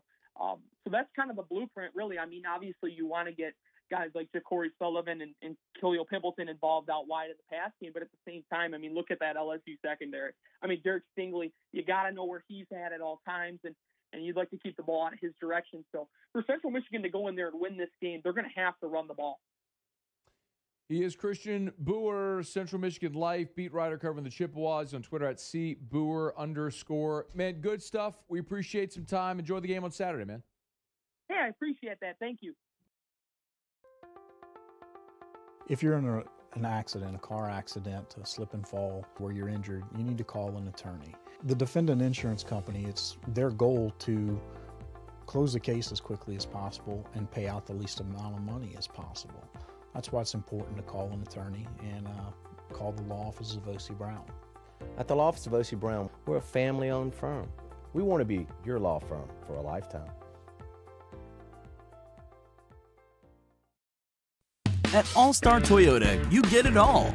If you're in the market for an all new Toyota vehicle, come see our friendly and knowledgeable sales team at All Star Toyota. Located in Baton Rouge at the corner of Airline and Goodwood, we've been serving our community since 2005 by offering a large selection of new Toyota cars, trucks, and SUVs. Get behind the wheel of your dream car and take a test drive at All Star Toyota today. And our topic today is about savings. What is savings? Hancock Whitney isn't just a bank for our clients. We're investing in our hometowns, making life better for everyone. So keep dreaming. We've got your back.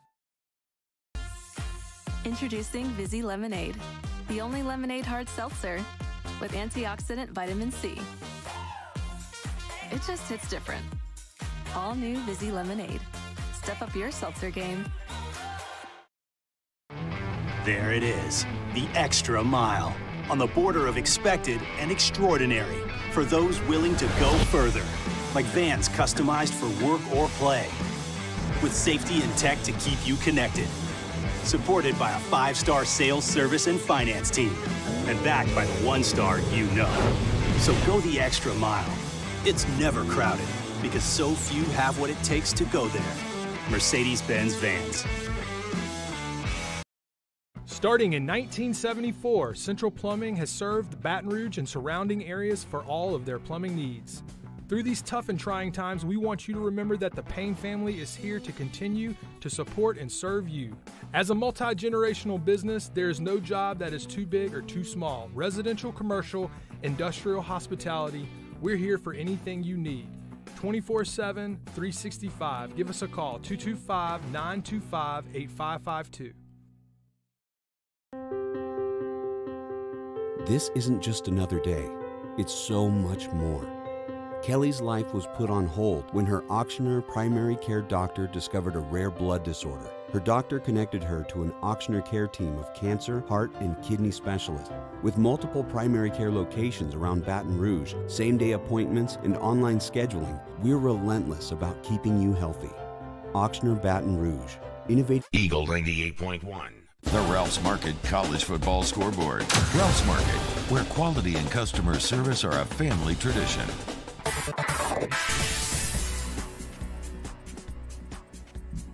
All right, well, no drama in Gainesville. 8:45 to play before half. Alabama up 21 to three. Got up early. We've already seen an interception from Emory Jones. Shocker. it's about what we kind of expected, right? Uh, Bryce Young, 12 of 20 for 138. Bryce already has three touchdowns in the first half. Um, apparently, we're not going to see Anthony Richardson in this ball game. The sensational freshman from Florida uh, did tweak his hamstring last week. I don't know if that had anything. They said he's medically cleared. I don't know if that has anything to do with it, but said it would only be like an emergency situation if he played. But yeah, it's hard to wonder, or not to wonder what if. But Richardson also doesn't play defense.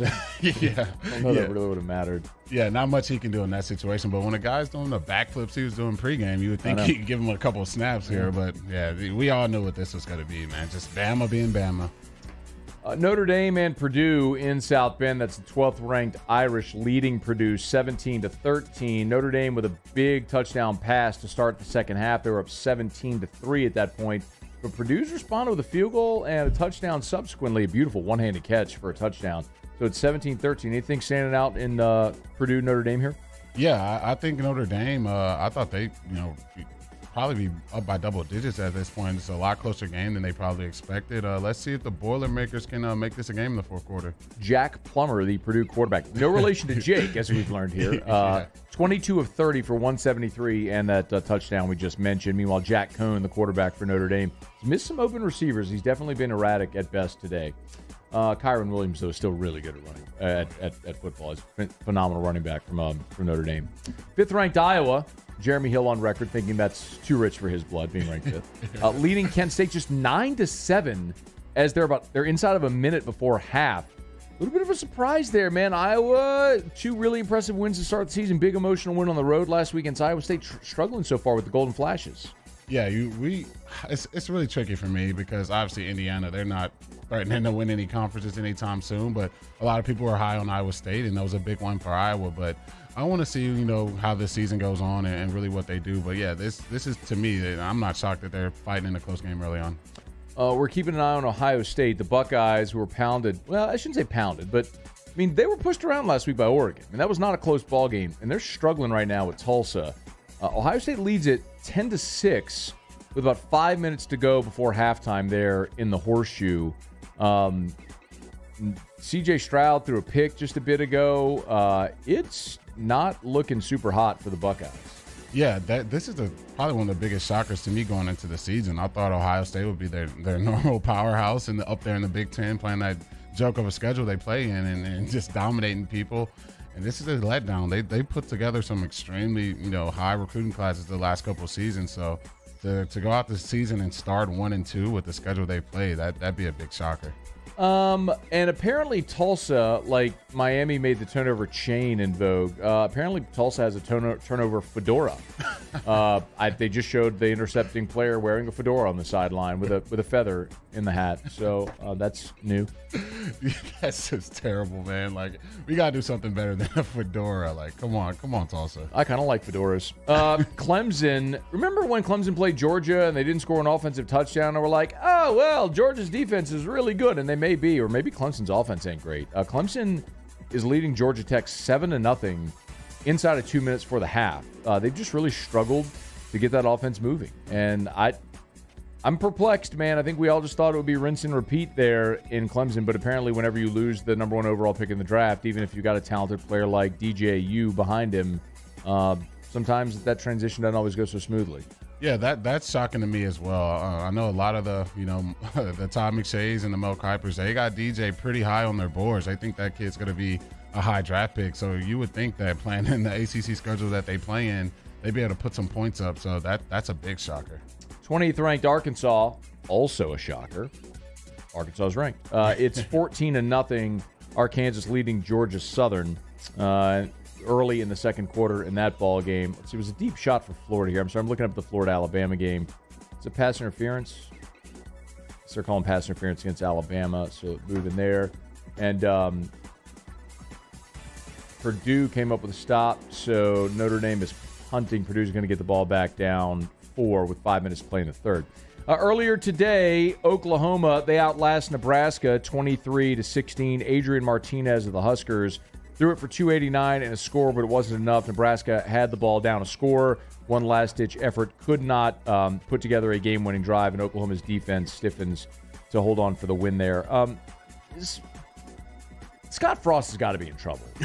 I mean, I know he's yeah. a Nebraska guy. He won the national championship as the quarterback in 1997. He had been a wildly successful OC at Oregon and then head coach at UCF. It's just not working. I don't know how you fix Nebraska.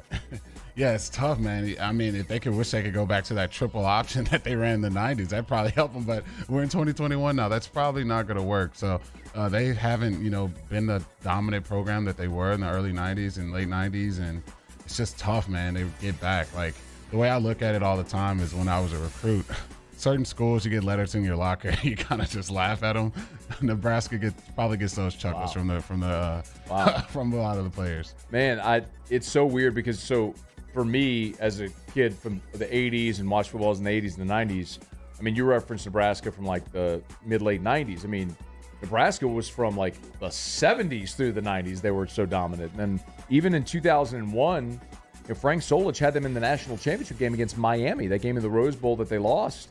Uh, but since and then the next year they, they went nine and three and they fired nine and two and they it was nine and three because they played twelve games in 2002. But nine and three they fired Frank Solich a year removed from playing for a national championship, and they just have never found their footing again. They tried to bring in Bill Callahan and switch the offense to a more modern, wide open, and it just has never worked. Everything they've tried to do since bizarre. Just to see Nebraska so bad.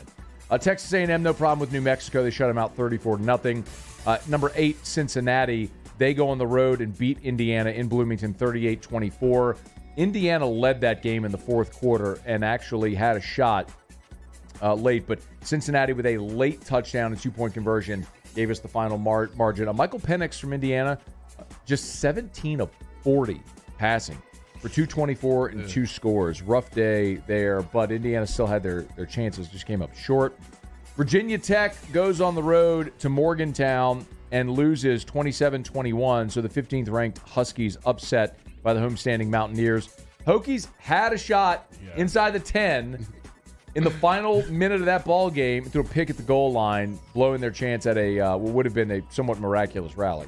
Yeah, that was a great game. Uh, just watching them get down there, I just thought they were going to punch it in. You're right there. You would think you can find a way to get in the end zone.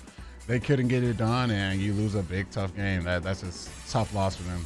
Coastal Carolina beats Buffalo 28 25. That's the 16th ranked Chanticleers. Uh, Michigan State and Miami, in what was a close ball game throughout, became a blowout of sorts as Michigan State outscored Miami 21 3 in the final quarter there in South Beach. 38 17, the final. D'Eriq King, nearly 400 yards passing, but not enough for the U as they fall to 1 and 2 on the season. Yeah, they came in the season pretty ranked pretty high. I know a lot of people were high on D'Eriq King in that Miami program, but just not the season that they would love to have. Uh, just losing a, home game to Michigan State, an unranked opponent. That's a tough loss for them. So uh, maybe the U will come back, but it definitely won't be this year. Maybe we're sleeping a little bit on Michigan State and Mel Tucker. By the way, Mel Tucker today, in a major, major boss move, wore shorts on the sideline for this game. He's like, look, I coach in East Lansing. I'm going to South Beach. I'm wearing shorts on the sideline. I don't know that I've ever seen a football coach in that level wear shorts on the sideline, but he did today, and he was awesome. They blew out Northwestern. They blew out Youngstown State. They've blown out Miami on the road in South Beach. They're 3 0 with three one sided wins. Maybe Michigan State is the team we should be talking about more and less Miami in their struggles so far. Yeah, that's impressive to start the season off like that. And if you come out on national TV with some shorts on, you better get a win. And that's right, exactly what they did. So yeah, that's a good start for the season. Then let's let's follow them and see what they do, man. I know that Big Ten is probably weaker than people think with Ohio State not being as good as we thought. Michigan blast Northern Illinois 63 to 10. Uh, Florida has scored, by the way. They missed the, the extra point. It's 21 to 9 Bama leading the Gators, and Florida's defense comes up with a sack, looking to get off the field here, get the ball back. So, see what the Gators might be able to muster a little life. Um, also, in the top 25 games that'll start this evening, South Carolina is at number two, Georgia. Fourth ranked Oregon hosts Stony Brook. The big one tonight in Happy Valley, Penn State, 10th ranked, host number 22, Auburn.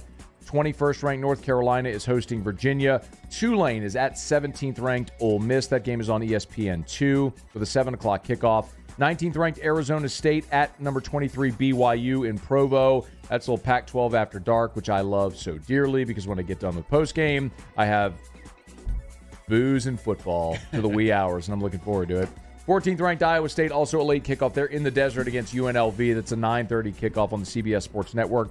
And tonight, 9:45. If you are so lucky to have the Pac-12 network, uh, 9:45 Central, you can watch 13th ranked UCLA against Fresno State in a game that I think is going to be inside of that number of 11. I think Fresno.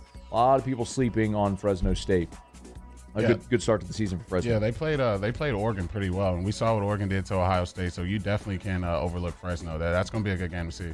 Let's take a look at the rest of the SEC today. Uh, as we mentioned, Bama beating Florida 21 to 9. Arkansas now up 21 0 on Georgia Southern. Mississippi State has taken the lead on Memphis. Memphis an early scoop and score to go up 7 0. Mississippi State now at 10 unanswered. It's 10 7 Mississippi State uh, with 7.30 to go before the half.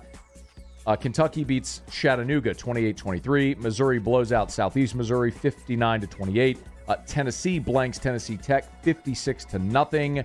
And tonight also you've got Vanderbilt against Stanford from Nashville. Stanford's a two touchdown favorite in that ball game. Other scores from around the country today, games currently in action.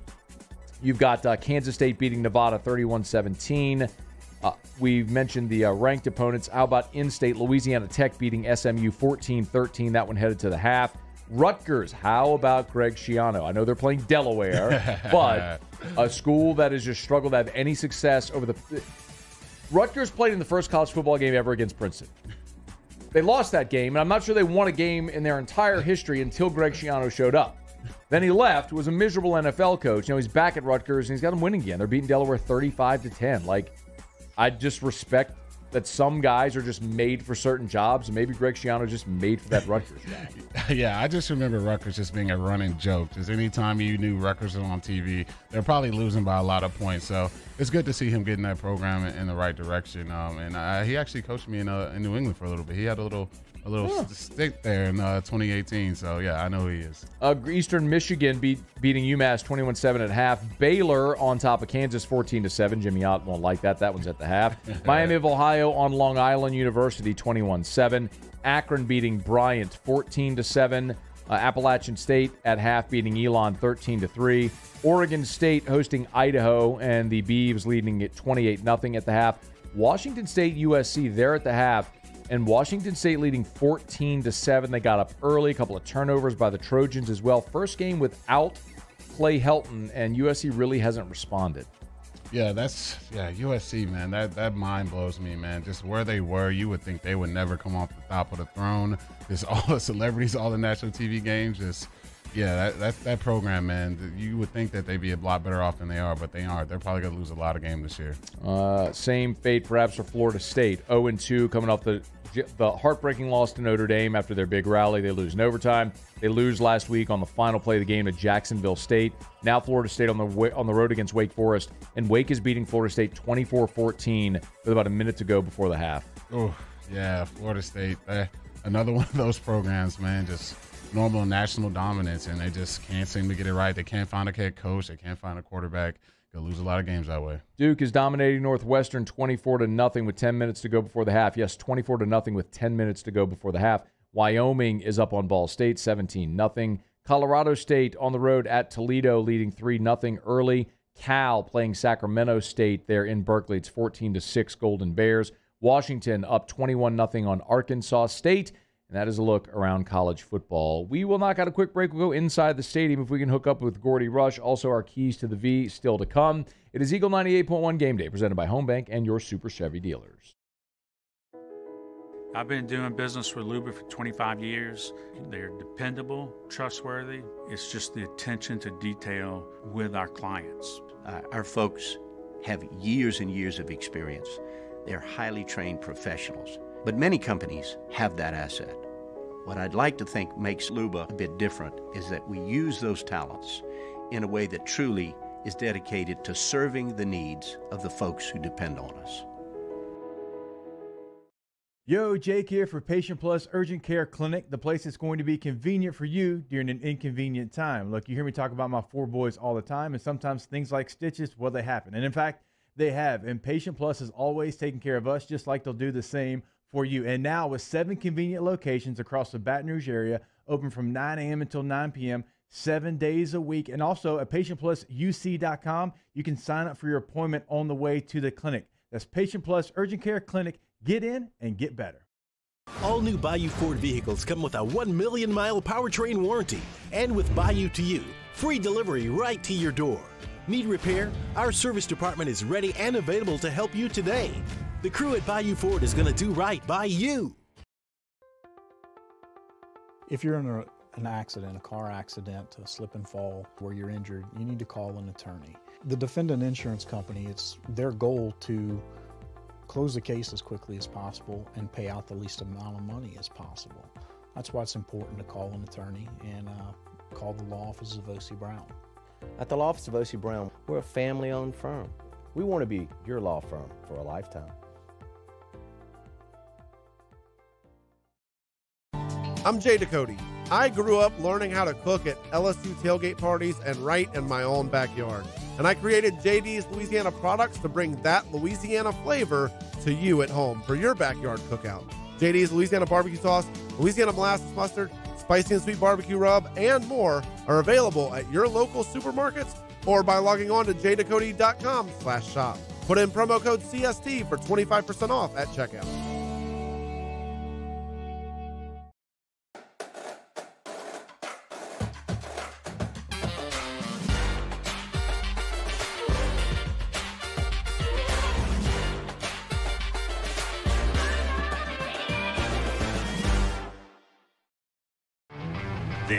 Is, the extra mile, on the border of expected and extraordinary for those willing to go further. like vans customized for work or play, with safety and tech to keep you connected. Supported by a five star sales, service, and finance team, and backed by the one star you know. So go the extra mile. It's never crowded because so few have what it takes. Eagle 98.1. Eagle 98.1 Game Day. Inside the stadium. Inside, the stadium. Presented by GoFlow IV Spa. GoFlow IV Spa, where athletes come to hydrate so they can dominate.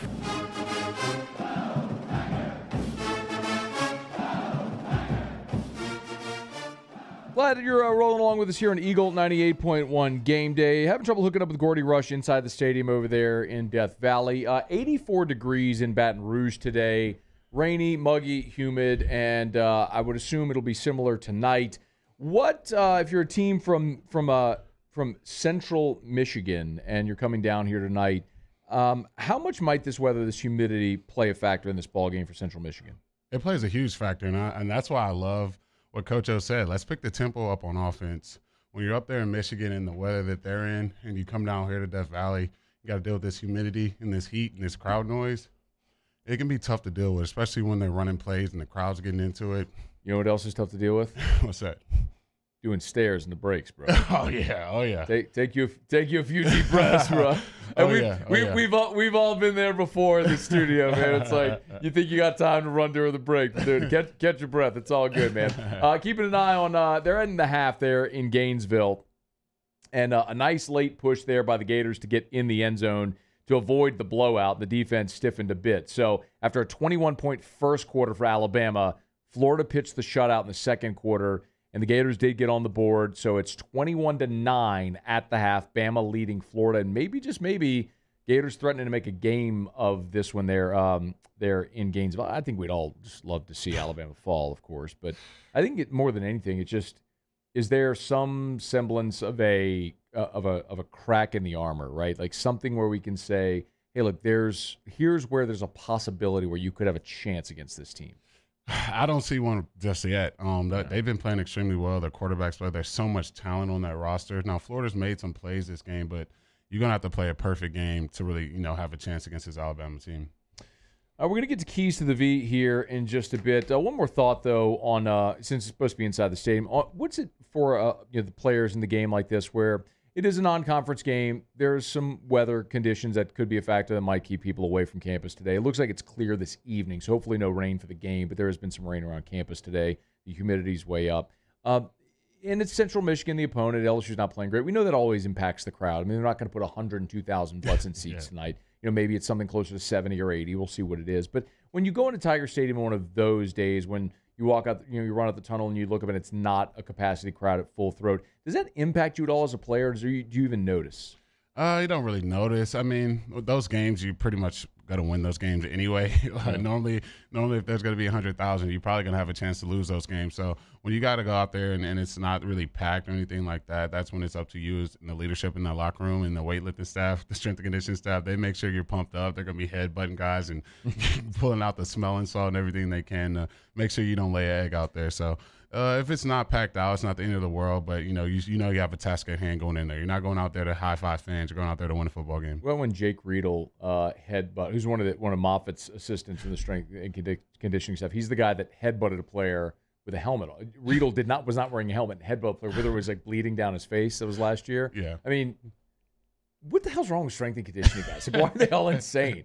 Yeah, that's man, dude. You got Jake's a good dude, but it's like, man, what are you doing? got a couple of screws missing up there to, to do what they do every day to motivate us guys and get us ready to go. And I think I, I had the most fun just doing max out days because they're just yelling at the top of the lungs trying to get you to hit your number. So yeah, they do a good job keeping you motivated. Um, I asked you about the you know the full crowd or whatever it would be for like obviously I have no perspective at all of playing in it on an NFL game or in a major college game, but there's like one there's a moment where I remember like it, we were playing a playoff game against Evangel and they were I, I'm not doing a glory days thing, but we, when we showed up it was it was a big game. They had Brock Berlin who was the number one player in the country, so a lot of people it was like when we pulled up in the bus, it was already full and there were people standing in the end zones, and you're like oh. Sh- mm-hmm. shoot this is a big deal. You know what i mean? Like there are days when you when you show up and you like that has to be the case of course like when you're playing alabama or florida in a major game and you come out the tunnel and it's like it just feels different, right? I mean, there have to be those games. Oh yeah, there's levels to it for sure. There's levels. I remember even in my high school. Go back to the glory days. Uh, anytime we were playing Parkview Baptist,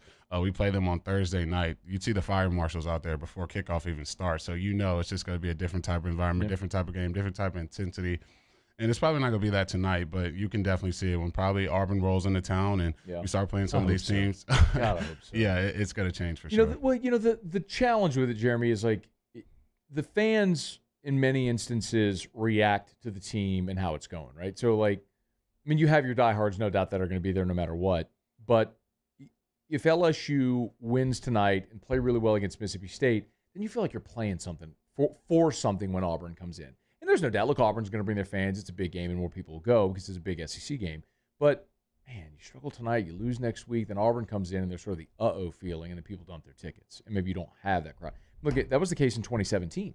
In 2017, LSU was struggling a bit. Auburn came in for that 2:30 game. It was hot as hell. They were honoring the 07 champs, which was a big deal. But LSU was just getting dusted at halftime, and they had the amazing comeback, the DJ Chark punt return. I mean, it was the largest comeback in an SEC game in Tiger Stadium history for, for LSU that day.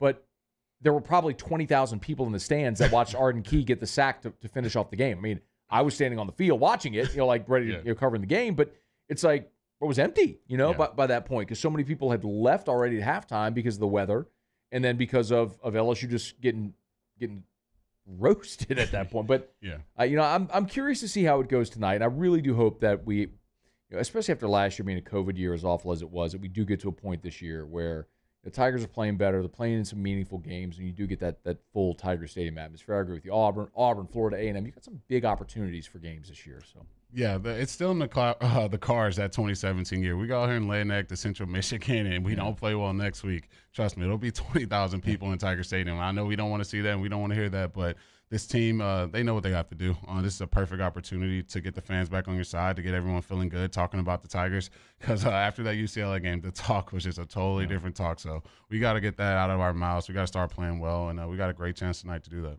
Well, uh, if they're going to do it, they'll have to have some keys to the V. So we'll touch on keys to the V and give you our picks on this game. We return to wrap up Eagle 98.1 Game Day presented by Home Bank and your Super Chevy dealers. In most cases, you'll never get more for your trade-in than right now at Courvelle Toyota in Opelousas. Now's your chance to upgrade. You can pre-order your new Toyota today or choose one of our pre-owned vehicles and we'll buy back your current vehicle at a price that will absolutely amaze you.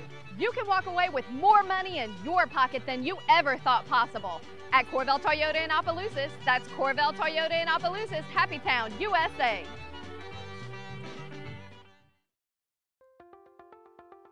If you're in a, an accident, a car accident, a slip and fall where you're injured, you need to call an attorney. The defendant insurance company, it's their goal to close the case as quickly as possible and pay out the least amount of money as possible. That's why it's important to call an attorney and uh, call the law offices of O.C. Brown. At the law office of O.C. Brown, we're a family owned firm. We want to be your law firm for a lifetime. And our topic today is about savings. What is savings? Hancock Whitney isn't just a bank for our clients. We're investing in our hometowns, making life better for everyone. So keep dreaming. We've got your back. There it is, the extra mile. On the border of expected and extraordinary for those willing to go further. Like vans customized for work or play. With safety and tech to keep you connected. Supported by a five star sales, service, and finance team. And backed by the one star you know. So go the extra mile. It's never crowded because so few have what it takes to go there. Mercedes Benz Vans. Make this summer your backyard party year with Chris's Specialty Foods. Wings, burgers, brisket, steak, and boudin, plus great Cajun side dishes. We do all the prep, and you enjoy laughing with friends and family.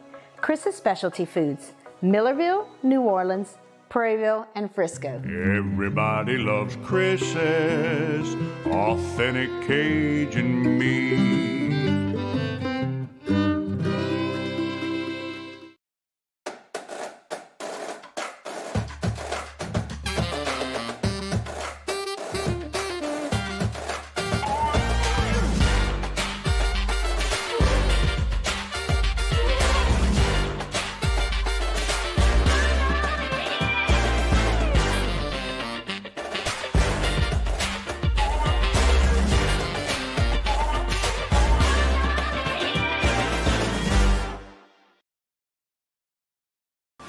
Bayou Ford vehicles come with a 1 million mile powertrain warranty. And with Bayou to You, free delivery right to your door. Need repair? Our service department is ready and available to help you today. The crew at Bayou Ford is going to do right by you.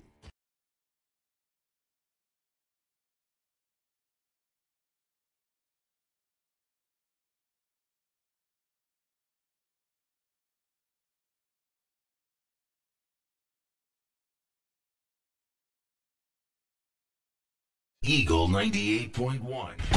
Eagle 98.1 Game Day. Keys to the V. Presented by Coors Light. Coors Light. Mountain cold refreshment made to chill. All right, Matt Moscona, Jeremy Hill. We're wrapping up here in Eagle 98.1 Game Day. We'll hand it over to uh, Hunt Palmer on the LSU Sports Radio Network. One more quick reminder as soon as the game goes final, T Bob Hebert and I will be live for Whiskey and Wine on the Watch 1045 ESPN YouTube channel or the 1045 ESPN Facebook page. So subscribe to the YouTube channel or like the Facebook page, and we'll be live right when the game goes final. Or you can come join us on site at Don Juan Cigar Bar in Town Center here in Baton Rouge. All right, uh, keys to the V. What you got? Man, this offense. Let's get some tempo going. Let's get these guys tired. They're getting, coming down to this humidity, and uh, guess what? We didn't give them a hotel to stay in, so they're probably gonna be rolling into the game pissed off. So let's run some tempo on these guys, get them tired, get some rhythm on offense and defense.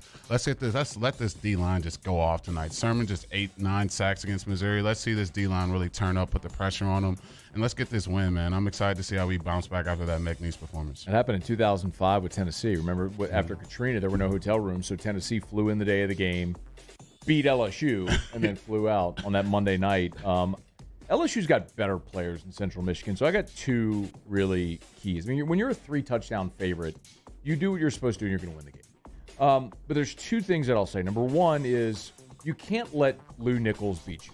When the other team has one guy that everybody knows is their dude, like it's like in basketball. You, if you're gonna play, I, give give me somebody. If you're gonna play, Steph Curry, don't let him shoot a three. don't let Steph beat you. You know what I mean? Like, Yeah.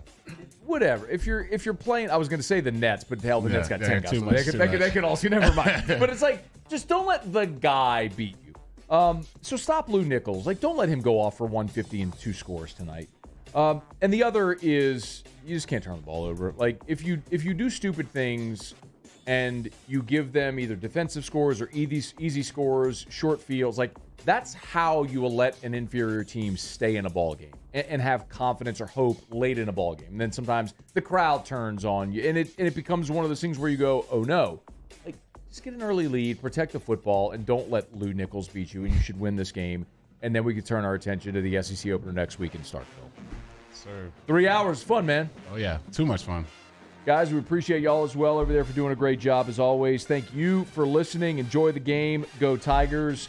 Eagle 98.1 Game Day, presented by your local Super Chevy dealers and Home Bank. We'll hand it off to Hunt Palmer and the LSU Sports Radio Network next.